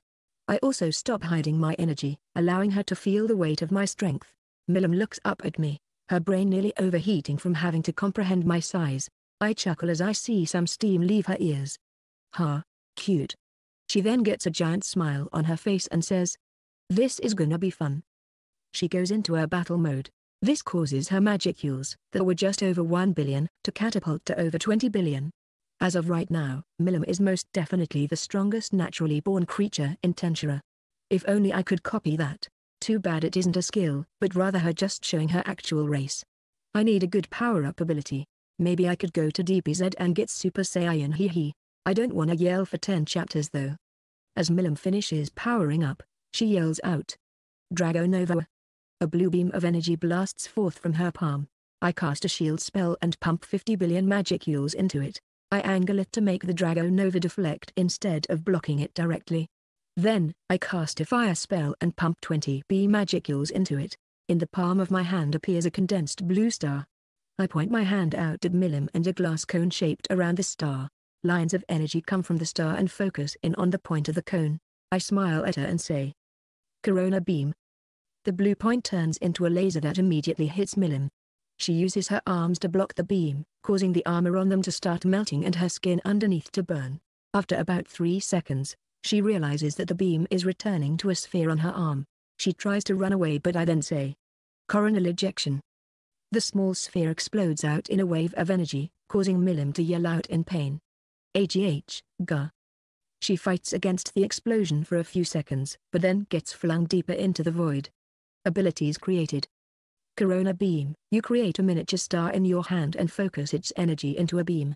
Coronal ejection, you create a miniature star and cause it to explode. When used in conjunction with corona beam, its power is amplified. Milim looks over at me and smiles. She flies towards me at the speed of light, being unrestrained by Tensura's voice of the world. I smile at her as I create several thousand miniature stars around me, and simultaneously activate my biosolar nature. Create star. Milim flies even faster and starts giggling madly as she wants to take my attack head on. I smile back at her. While I'm not going all out, I am indeed having fun. Coronal mass ejection. The stars all shrink to about the size of a penny. Then, suddenly, bompa. Ah. The pennies explode outwards with the energy of hundreds of billions of magicules. However, due to their weak power individually, they are nowhere near the strength of an actual attack power by hundreds of billions of magicules. Milim feels her body burn, the top layer of skin turning to ash as she takes the attack. She screams out once more as her body is overtaken by the burning energy of the stars. ACK, ah. The energy slowly dissipates and I see an unconscious Milim, floating in the void, with a satisfied smile on her face. I smile at her and pick her up in a princess carry, She's already recovered completely. What a little monster. I teleport the two of us back into my temple and set her down on my bed, and I lay down beside her. Honestly, that might be the most fun I've had in a while. Nothing has really made me go all out in thousands or millions of years. Title gained. Creator of Magic, gained by creating your first original spell. Ability gained. Creation Magic, you are able to use magicules to create something from nothing. Well, that's an interesting development. Chapter 45, Canon has been reached. After Milim woke up, she went back to her dragon faithful. I decided to take a little flight to the great forest of Jura to see the slime and where exactly its development is at now. It's probably not higher than that tribal goblin village yet, but he may have gone to that little dwarf kingdom. I don't know the exact timeline of his kingdom. As I fly over, it seems I came a little later than I thought. He's already got some developed buildings, but without the aid of the orcs it's still relatively small. You know, I could be a jerk and scare them all half to death, but nah. I don't want to change anything till after the slime becomes a demon lord. I turn into a small bird and land on a branch in the town. My presence is completely concealed, so other than seeing a cool bird, people don't really react. A few of the cute little goblin kids point up at me to their parents, I smile inwardly and stretch out, showing my deceptively massive wingspan. A cute little goblin girl spreads her arms out as well and says, Caw caw. Once again, I chuckle to myself as I give her what she wants. Screech. I sadly don't caw any long girl. My screech causes her to jump, but she gets a big smile on her face and says, Kaw. Gosh she's too cute dude. I fly down to her and land in front of her, which causes her mother to hold her hand out in front of her. Using creation magic, I create a small version of myself as a wind-up toy and float it in front of the girl. Her mom once again moves her back as I make the toy wind up. As it finishes, the toy lets out a quieter screeching noise similar to my own. I set the toy on the ground and take off, letting out another screech. The mother lets her daughter pick up the toy and keep it. I left a little bit of mana inside the toy that will eventually merge with the girl, granting her abyssal traits. The toy will eventually speak to her as she grows older, telling her to come to the kingdom of Abyssia. I'll make this girl one of my kin. And yes, this is only because I found her cute. Deal with it. I fly over to the house Rimuru is in. I create a spell that'll allow me to see right through the house. I look inside and, well. It seems that Shiz was dying now. Ifrit hasn't gone berserk just yet, but he will soon. So I guess that means that the ogres aren't here yet. I'll wait another few months. Maybe I'll just hang around Tempest for a while, stealing some food from people. Also, there is no way in hell I'm ever calling this city anything but Tempest. Calling a city Rimuru is stupid and I hate it. I fly around for a while, just stretching my wings. Every now and then, someone will look up at me. Most adults view me with a bit of fear. I suppose the bird of death is still a thing in this world. So what if blackbirds tend to be on battlefields? They just get attracted because of the smell. Though, I suppose my entire existence is built upon that bird of death thing. It takes a few days, but eventually Shizu and Go go to leave the village. I look through her skills and see nothing of note. Overall she's pretty weak. Probably low 8 tier. Rimuru is just barely mid 8 tier. Weak compared to me, but still pretty strong nonetheless. This battle will probably solidify him at mid 8 tier. I'll put him at about S rank when he fights the piggy who got too big for his britches. Oh, looks like it's happening. Shiz stops mid-walk and just stares off at her party members before grumbling into herself. She then looks up into the air as her mask cracks and then breaks, freeing Ifrit. The fireboy does his thing and destroys a lot of the village, though luckily the plot armor runs thick and no people are killed by that. The battle goes the same as in canon, so I won't describe it. Oh shit, thankfully nobody noticed the bird that was just casually sitting on a tree branch while this battle went on. Ehilda. Well, I'll come back soon. For now, I need to update my people's names to strengthen them. I could easily make the weakest member of my army hold an SS rank. So, I'm gonna. I inform all of my kin and they all wrap up what they were doing and come to the temple. The common rabble of all different races are locked outside of the 50 meters tall walls, but that doesn't stop some from looking through the lattice gates. I'm inside of my temple, and in a glorious display of silver light, the door to the temple expands to nearly 50 meters tall itself. Behind myself is a fake portal, to make the people watching believe I live in a different realm. All of my kin bow before me as I open the doors. My people are greeted by my 50 meters tall humanoid form, equipped with all my extra hands and wings. Over my head is a pitch black halo that seems to be forged from a black hole. I step out in front of my kin and notice that their numbers have expanded, with there even being a few children around. My religion doesn't make clergy members celibate, because that's a stupid rule anyways.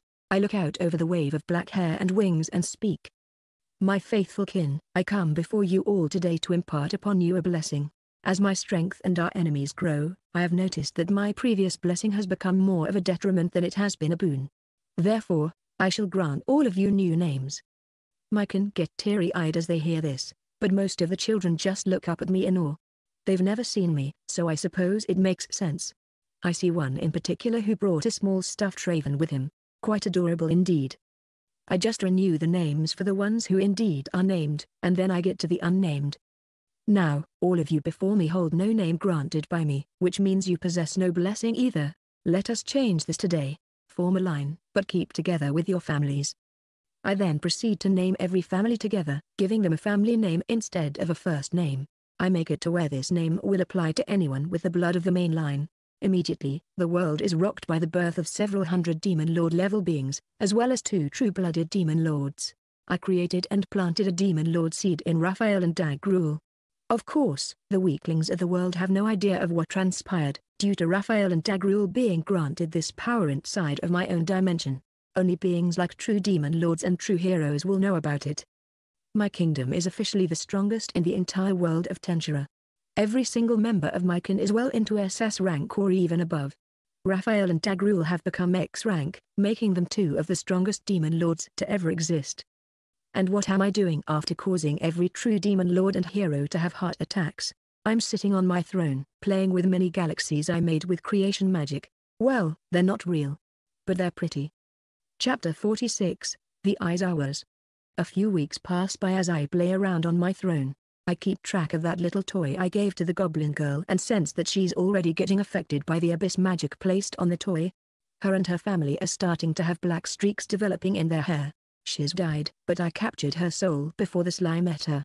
I liked her in the show, so I'll let her be a resident of paradise specifically, the section made to look similar to Japan at the time of World War II just with better amenities and infrastructure. I also created a new spell I call Soul Search. It's an ability that allows me to find souls no matter where they are. I myself may not be able to travel dimensions, but whoever decided I can't still affect them. I search for her mom's soul and find it in the possession of some earth god. Funny thing is, the dude is only B rank in power. I create a clone in the earth and make it appear before him. The old dude jumps as it appears and speaks up. Why yes great one, how may I serve you? Hey. It feels pretty good having a god grovel at your feet. I speak up. Nothing much, I just need a soul from your dimension. In return, I'll give you a blessing to strengthen you a bit. Your name is now Yella. Yes, a combo of Yahweh and Ella. I'm unoriginal, sue me. I grab Shiz's mother and put her in my realm in an exact replica of their house before the bombs were dropped. The woman looks around. H? She sees her house behind her. Tears start to well up in her eyes as she says. Be but I. I appear behind her in my god form. Black halo, black wings, and black toga. Indeed, you did. She jumps and looks at me before bowing to me. Keikami-sama. I look at her with a warm smile. Then, I break the bad news. Unfortunately, your daughter didn't survive the attack either. She looks up at me and gasps as she hears this. She puts her hand in front of her face while crying loudly. I speak yet again. Worry not, child. I have protected her soul as well. She may look a little different from what you remember, but she is indeed your child. I turn around and disappear from her eyes. She keeps covering her mouth and crying as she hears. Mother? She looks up and sees she's in her hero outfit. She looks almost exactly like her. Shiz starts running towards her, her body slowly becoming smaller and smaller until she goes back to being a child as she jumps into her mother's arms. I smile as I see the touching scene. Mommy. Shizu and her mom collapse in each other's arms, crying. I suppose I'm not as disgusted with humans as I thought. Well, at least not these ones. I grabbed a few other souls from Japan before leaving, filling up the little town I made. Of course, I only grabbed those with pure souls. Don't want a pedo to get in my dimension. The clones will explain everything to the people here. I wait for the mother-daughter pair to stop their reunion and then appear in front of them. Your daughter has faced many hardships. Take care of her. Enjoy the rest of eternity with her. I walk over and ruffle Kid Shiz's hair. Shiz, who reverted back to before her mom died, looks up at me and asks. Who are you? Are you an angel? I smile and crouch down in front of her. I then say. Not quite. My name is Seraph. I'm a goddess. I found your life to be very commendable, so I brought you and your mother here to paradise as a reward for being so pure. I scratch behind her ear, which earns a content smile. Hey. I'm such a sucker when it comes to kids. I make her the same toy I made the goblin girl, just without the abyss magic. I make the toy wind up and it starts playing some music and walking. She takes it with a wide smile and starts playing it. I then motion for the mother to come over to me. I cast a sound barrier between us and she's. I then speak in a serious tone. While she may have been an adult, seeing you has made her regress both physically and mentally. You should expect her to be a bit clingy. I wouldn't ask her about what happened after she died just yet. The poor girl likely has a form of PTSD from it. But, just know, she is in fact the same girl you raised. And I must say, you raised her very well. She's a sweet girl. The mother, Iakuka Aizawa, nods her head and bows. I will raise her with the utmost care.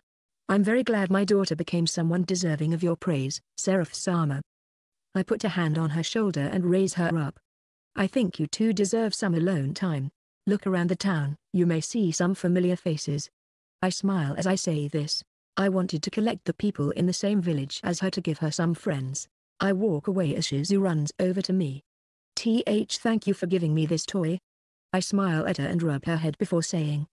It's no problem at all, little one. I then walk a little bit away from her and turn into my burb form before flying away. Of course, this was only theatrics, as the second I'm out of their line of sight, I teleport into my manor. I've got some daughters to rename. Chapter 47, Renaming and Heists. I teleport into the manor and come upon a scene I never imagined possible. Remy, Ares, Gaia, and Undine are all asleep and cuddling each other. Oh my god, so cute. Using creation magic, I create a Polaroid camera and start taking pictures. I take a few hundred pictures and decide to just let the girls sleep. I walk over to Remy and say, Remiel. Instantly, an egg grows around her.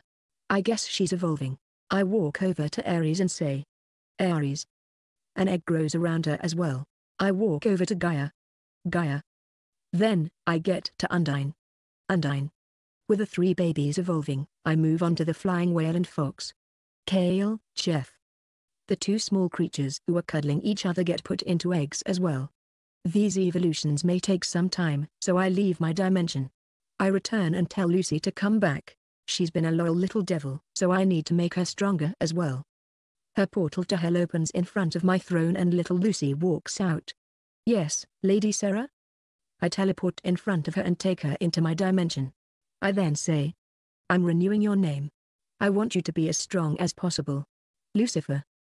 As I say her name, something grows and hatches inside her, causing her to become a demon lord. Her magical count swells to well over 40b, causing her to become the second strongest demon lord behind me alone. She looks at me with stars in her eyes and says, Lady Sarah. I shall serve you for all eternity. I shall go and hunt you down the strongest beings in the world to sate your eternal hunger. She's about to portal out before I yank her back and yell. Wait, I don't need you to hunt for me anymore.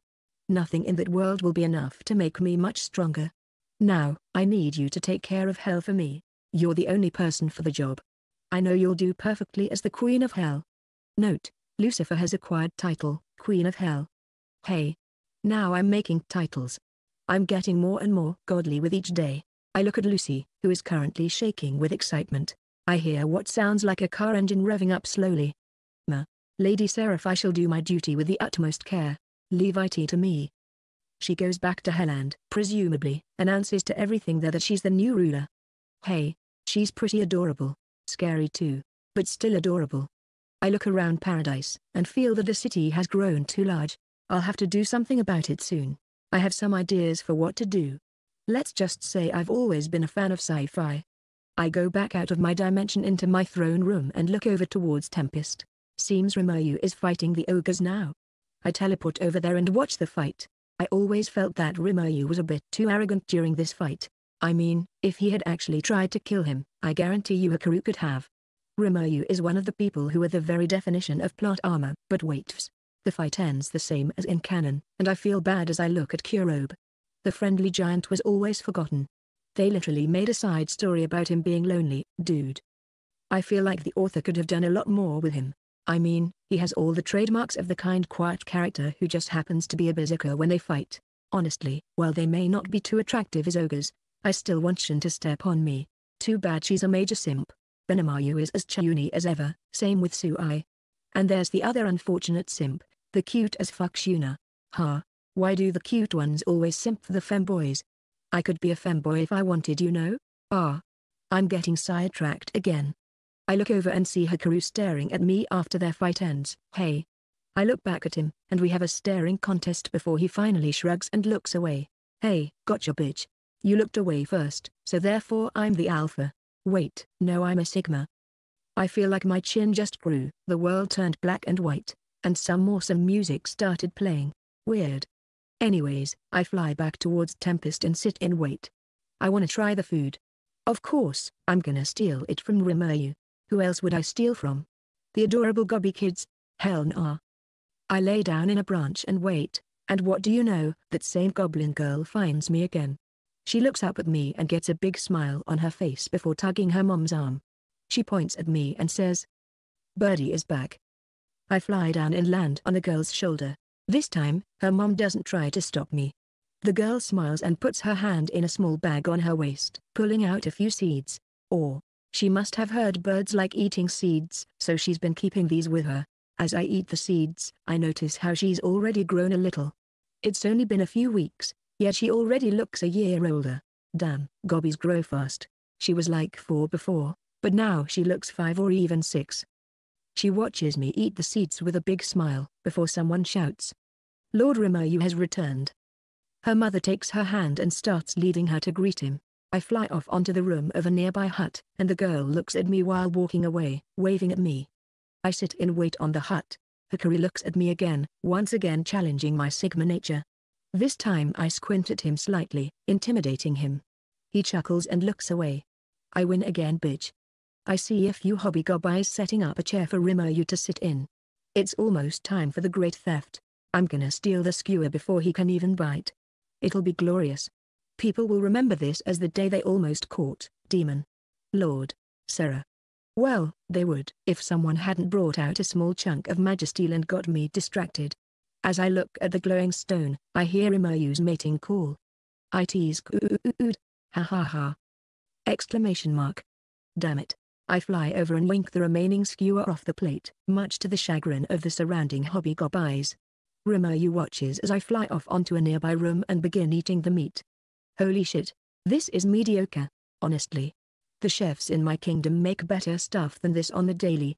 Ha ah, damn it. I guess Tempest hasn't really developed really good food yet. I fly over to Rimuru again and drop the skewers back onto his plate. Man, I was looking forward to that too. Chapter 48, Phoenix God of the Abyss. Since I got some time till the orc thing happens, I decide to experiment on something I've been thinking of. I teleport out into the void. I curl into a fetal pose and try something. I take some magicules out of my body. The reactor and my system instantly recover the energy. Then, I force the magicules back into my body. Instantly, I feel a piercing pain in my body. Warning, circulating magicules without a proper method will result in immense pain, and possibly death. Hey, that doesn't scare me. I'm immortal bitch.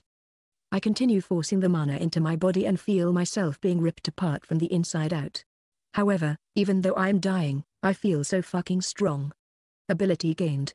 Sacrificial cultivation, a method of cultivating power exclusive to those who are unaffected by death. Magicules gained 2050 710,000. As the magicules run rampant in my body, I suddenly feel something in my body snap. My entire body is covered in flames, and I start turning to ash. You died. Dot. Dot. So, it seems my calculations were incorrect. I adjust a fake pair of glasses as my soul travels at many times the speed of light, back towards Tensura. I thought I could take more punishment, but apparently not. Damn, that's more dangerous than I thought. How many did I get? Magicules gained, 735,085, 98,864,725,189. Damn. That really wasn't worth it, huh? I feel like I've been sighing a lot recently. Maybe Q's cannon is boring when you're actually strong. Abyssal Star Devourer cooldown has reset. Exclamation mark. Houston, we have a poggers. Remind me never to say that again. Anyways, it seems my death made the cooldown end. Talk about plot armor. I'm not gonna go absorb the first star I see though. I wanna get another O-class absorbed. That's really the only one worth it. Wait. Why would I be limited to stars? Why can't I absorb a black hole? I mean, I have creation magic and everything. My brain goes into overdrive, coming up with all the different possible methods I could use to absorb the energy from a black hole.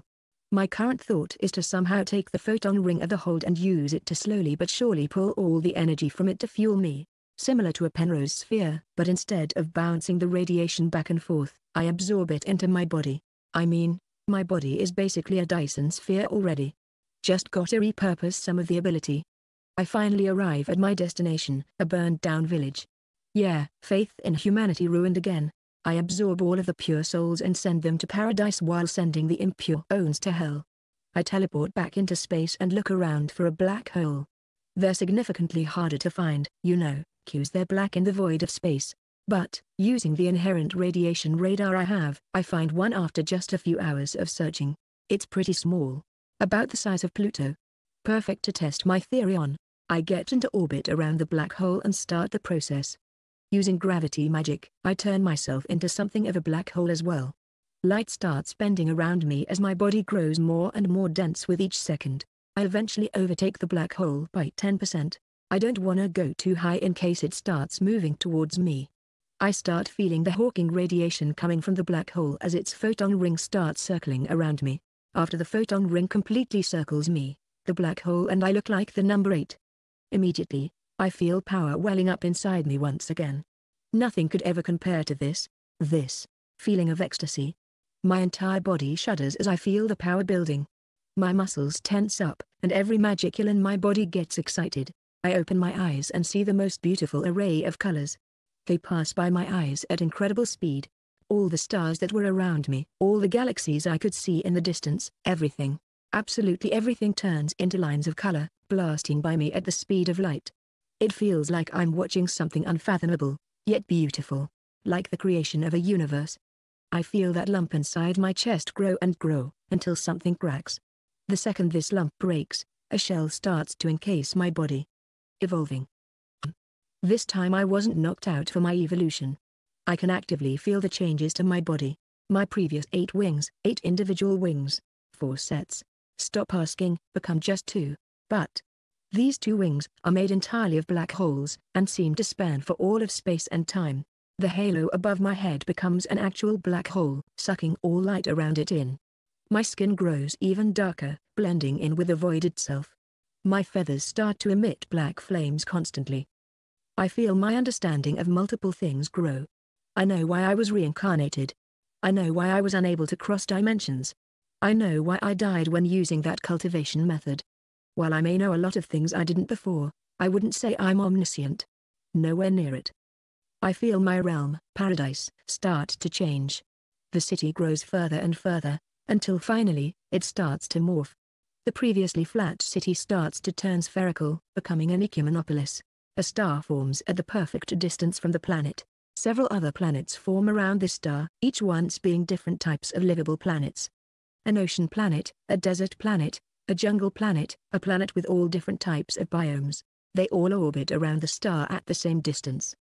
Then, other star systems begin to form. Thousands, hundreds of thousands, millions, hundreds of millions. With each system, I feel myself growing stronger. Eventually, an entire galaxy forms inside my dimension. As the galaxy forms, I feel my egg crack. Congratulations on reaching 100 B Magicules. Congratulations on becoming a demigod. Magicules gained 239,958,613,425, 338,823,338,614. Congratulations on evolving. You are now an Abyssal Phoenix God. Title gained, Phoenix God of the Abyss. You now have the ability to teleport through dimensions. Chapter 49, How Big Am I? I can move again. I unfurl my wings and instantly break the shell around me. My wings go on forever, further than the human eye can comprehend. They also have the same properties as a black hole, though for now I don't have them active, so it's just aesthetic for now. Same with the halo on my head. How big am I now? Showing status. Status. Name, Saragarath Dolaserov, Mama, Mommy, plus 6. Race Abyssal Phoenix God. Class, Titan Demigod, True Dragon, True Demon Lord. Rank, Z.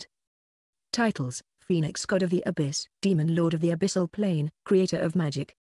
Wingspan, 573 kilometers to 754,832 kilometers. Height, 103 kilometers to 18,684 kilometers. Magicules, 98,863,990,104 to 338,823,338,614. Dash. H. Humanu? That's like twice the distance to the moon. Oh, oh, oh? I can sense the barrier between dimensions now. It's like a giant sphere surrounding the multiverse. The universes all have a giant sphere surrounding them too. The barrier feels like a balloon. It's kinda neat. I can sense everything in this dimension if I focus. I can also sense the mini dimensions built into this one. I can sense the place those gross angels come from, the one with the big bugs, and pretty much everything else. Once the big war starts, I'll probably just destroy their dimensions. I feel like I could just make a gigantic black hole swallow up their dimensions. May. I don't feel like it right now. I can finally sense what was at the center of the galaxy. It seems to be the sole remnants of an incredibly strong being. Most likely Veldanava. Seems like Rudra is just a weak dumbass. Olveldi most definitely wouldn't want his angels slaughtering humans, that's the demon lord's jobs.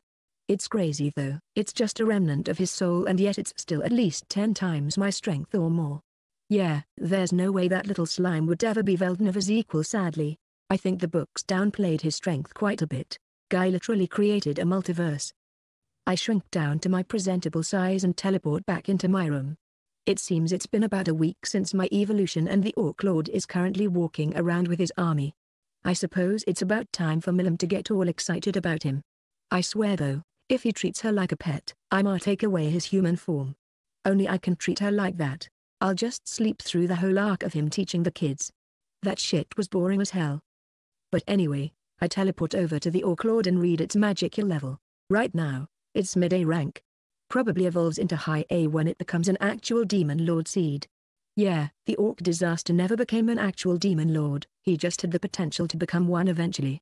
He never met the human soul requirement, and he most definitely wasn't strong enough to ignore the requirement like Lucy was. That one Majin that made him is pretty pathetic.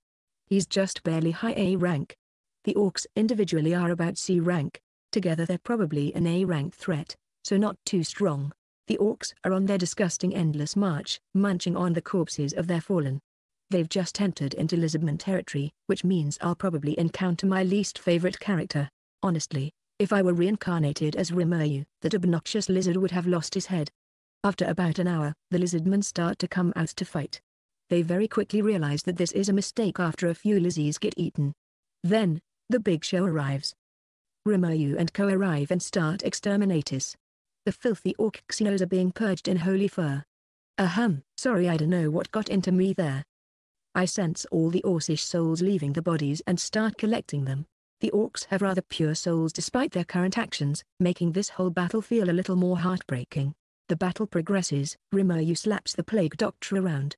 Hey, maybe I should make myself a plague doctor mask to wear around. You know? Cause I was a crow? Anaho, Rimuru and the Orc Lord of their eating contest which Rimuru wins. I take a couple orc corpses because I want to experiment before heading off to my next dimension. I bet Clayman is losing his shit right now hey. Oh yeah, that reminds me, I've got to put my Demon Lord ring back on. I took it off because of how obnoxious Clayman is. I put it on and say. Oi, anyone hear me? I hear Milim say. Yeah. Guy says. MHM. And the rest of them answer as well, except Clayman, Frey, and Lion Man. I forgot his name. Ah, Carrion, I say. Yeah, I woke up from my nap for good now. So next time there's a Walpurgis I'm available. Guy just says alright, while Milim acts happy. The others share Guy's sentiment, well, except for Ramiris. What made you think you could just disappear on us, huh? I ought to teach you a lesson. I chuckle at her reaction and just go on my way. Since Rimuru is already done with this boring fight, I decide to go absorb a black hole. I choose one slightly bigger than the one I evolved with. I think this thing has about 19 times the gravity of the sun. Still pretty small for a black hole. I open my wings to their full glory and wrap around the black hole. My wings rapidly absorb the energy from the black hole, shrinking the already tiny thing even more. Soon, the entire thing gets absorbed. Stellar black hole absorbed. Magicules gained, 46,302,949,669, 385,126,288,283. Wingspan, 754,832 kilometers to 781,390 kilometers. Height, 18,684 kilometers to 23,623 kilometers. I swear I'm gonna end up becoming a mesh from Gurren Lagann at this point. Chapter 50, Demon Lords are scary. After absorbing the black hole, I feel like I just ate a big meal. Like I literally can't eat anything else or I'll throw up. Phew, that hit the spot. I teleport back to my temple and wait for Milim to go off towards Tempest. It doesn't take long after the Orc Lord's death for Milim to find out about the slime and think it might be fun to go see it. I feel her flying over, so I teleport over there first in Smilborb form. Rimuru managed to sense her a little while after, and ran off into the wilderness on a hill to avoid her going into Tempest. Milim lands with a bang and does her little I'm the Demon Lord Milim Nava thing. The ogres come and ignore Rimuru because Plot and Milim starts getting excited. She's about to start fighting Rimuru before I turn into my human form and say. Alright Milim, you've had your fun. Everyone looks over at me as I'm a woman sitting on a tree branch, casually talking to a demon lord. Or. Not fair. Sarah, we're not supposed to interfere with each other. I chuckle and say. I'm not interfering at all, Milim. These guys aren't able to fight you. I tune into Rimuru's convo with Great Sage. Great Sage, what is she? Rude. I do not know, though it is likely that this individual is somehow completely hiding their magicules. Hey, Great Sage doesn't seem so great after gaining all this knowledge. It would feel like more of an assistant. I'm not copying it just yet, as I have an idea for during Walpurgis where I'll mass copy everyone's skills.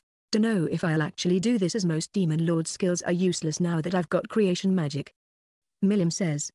MMM, not fair. You'll have to fight me again then. I'll win this time. I smile and teleport to her before patting her head. All right, dear. We'll do it after the next Walpurgis.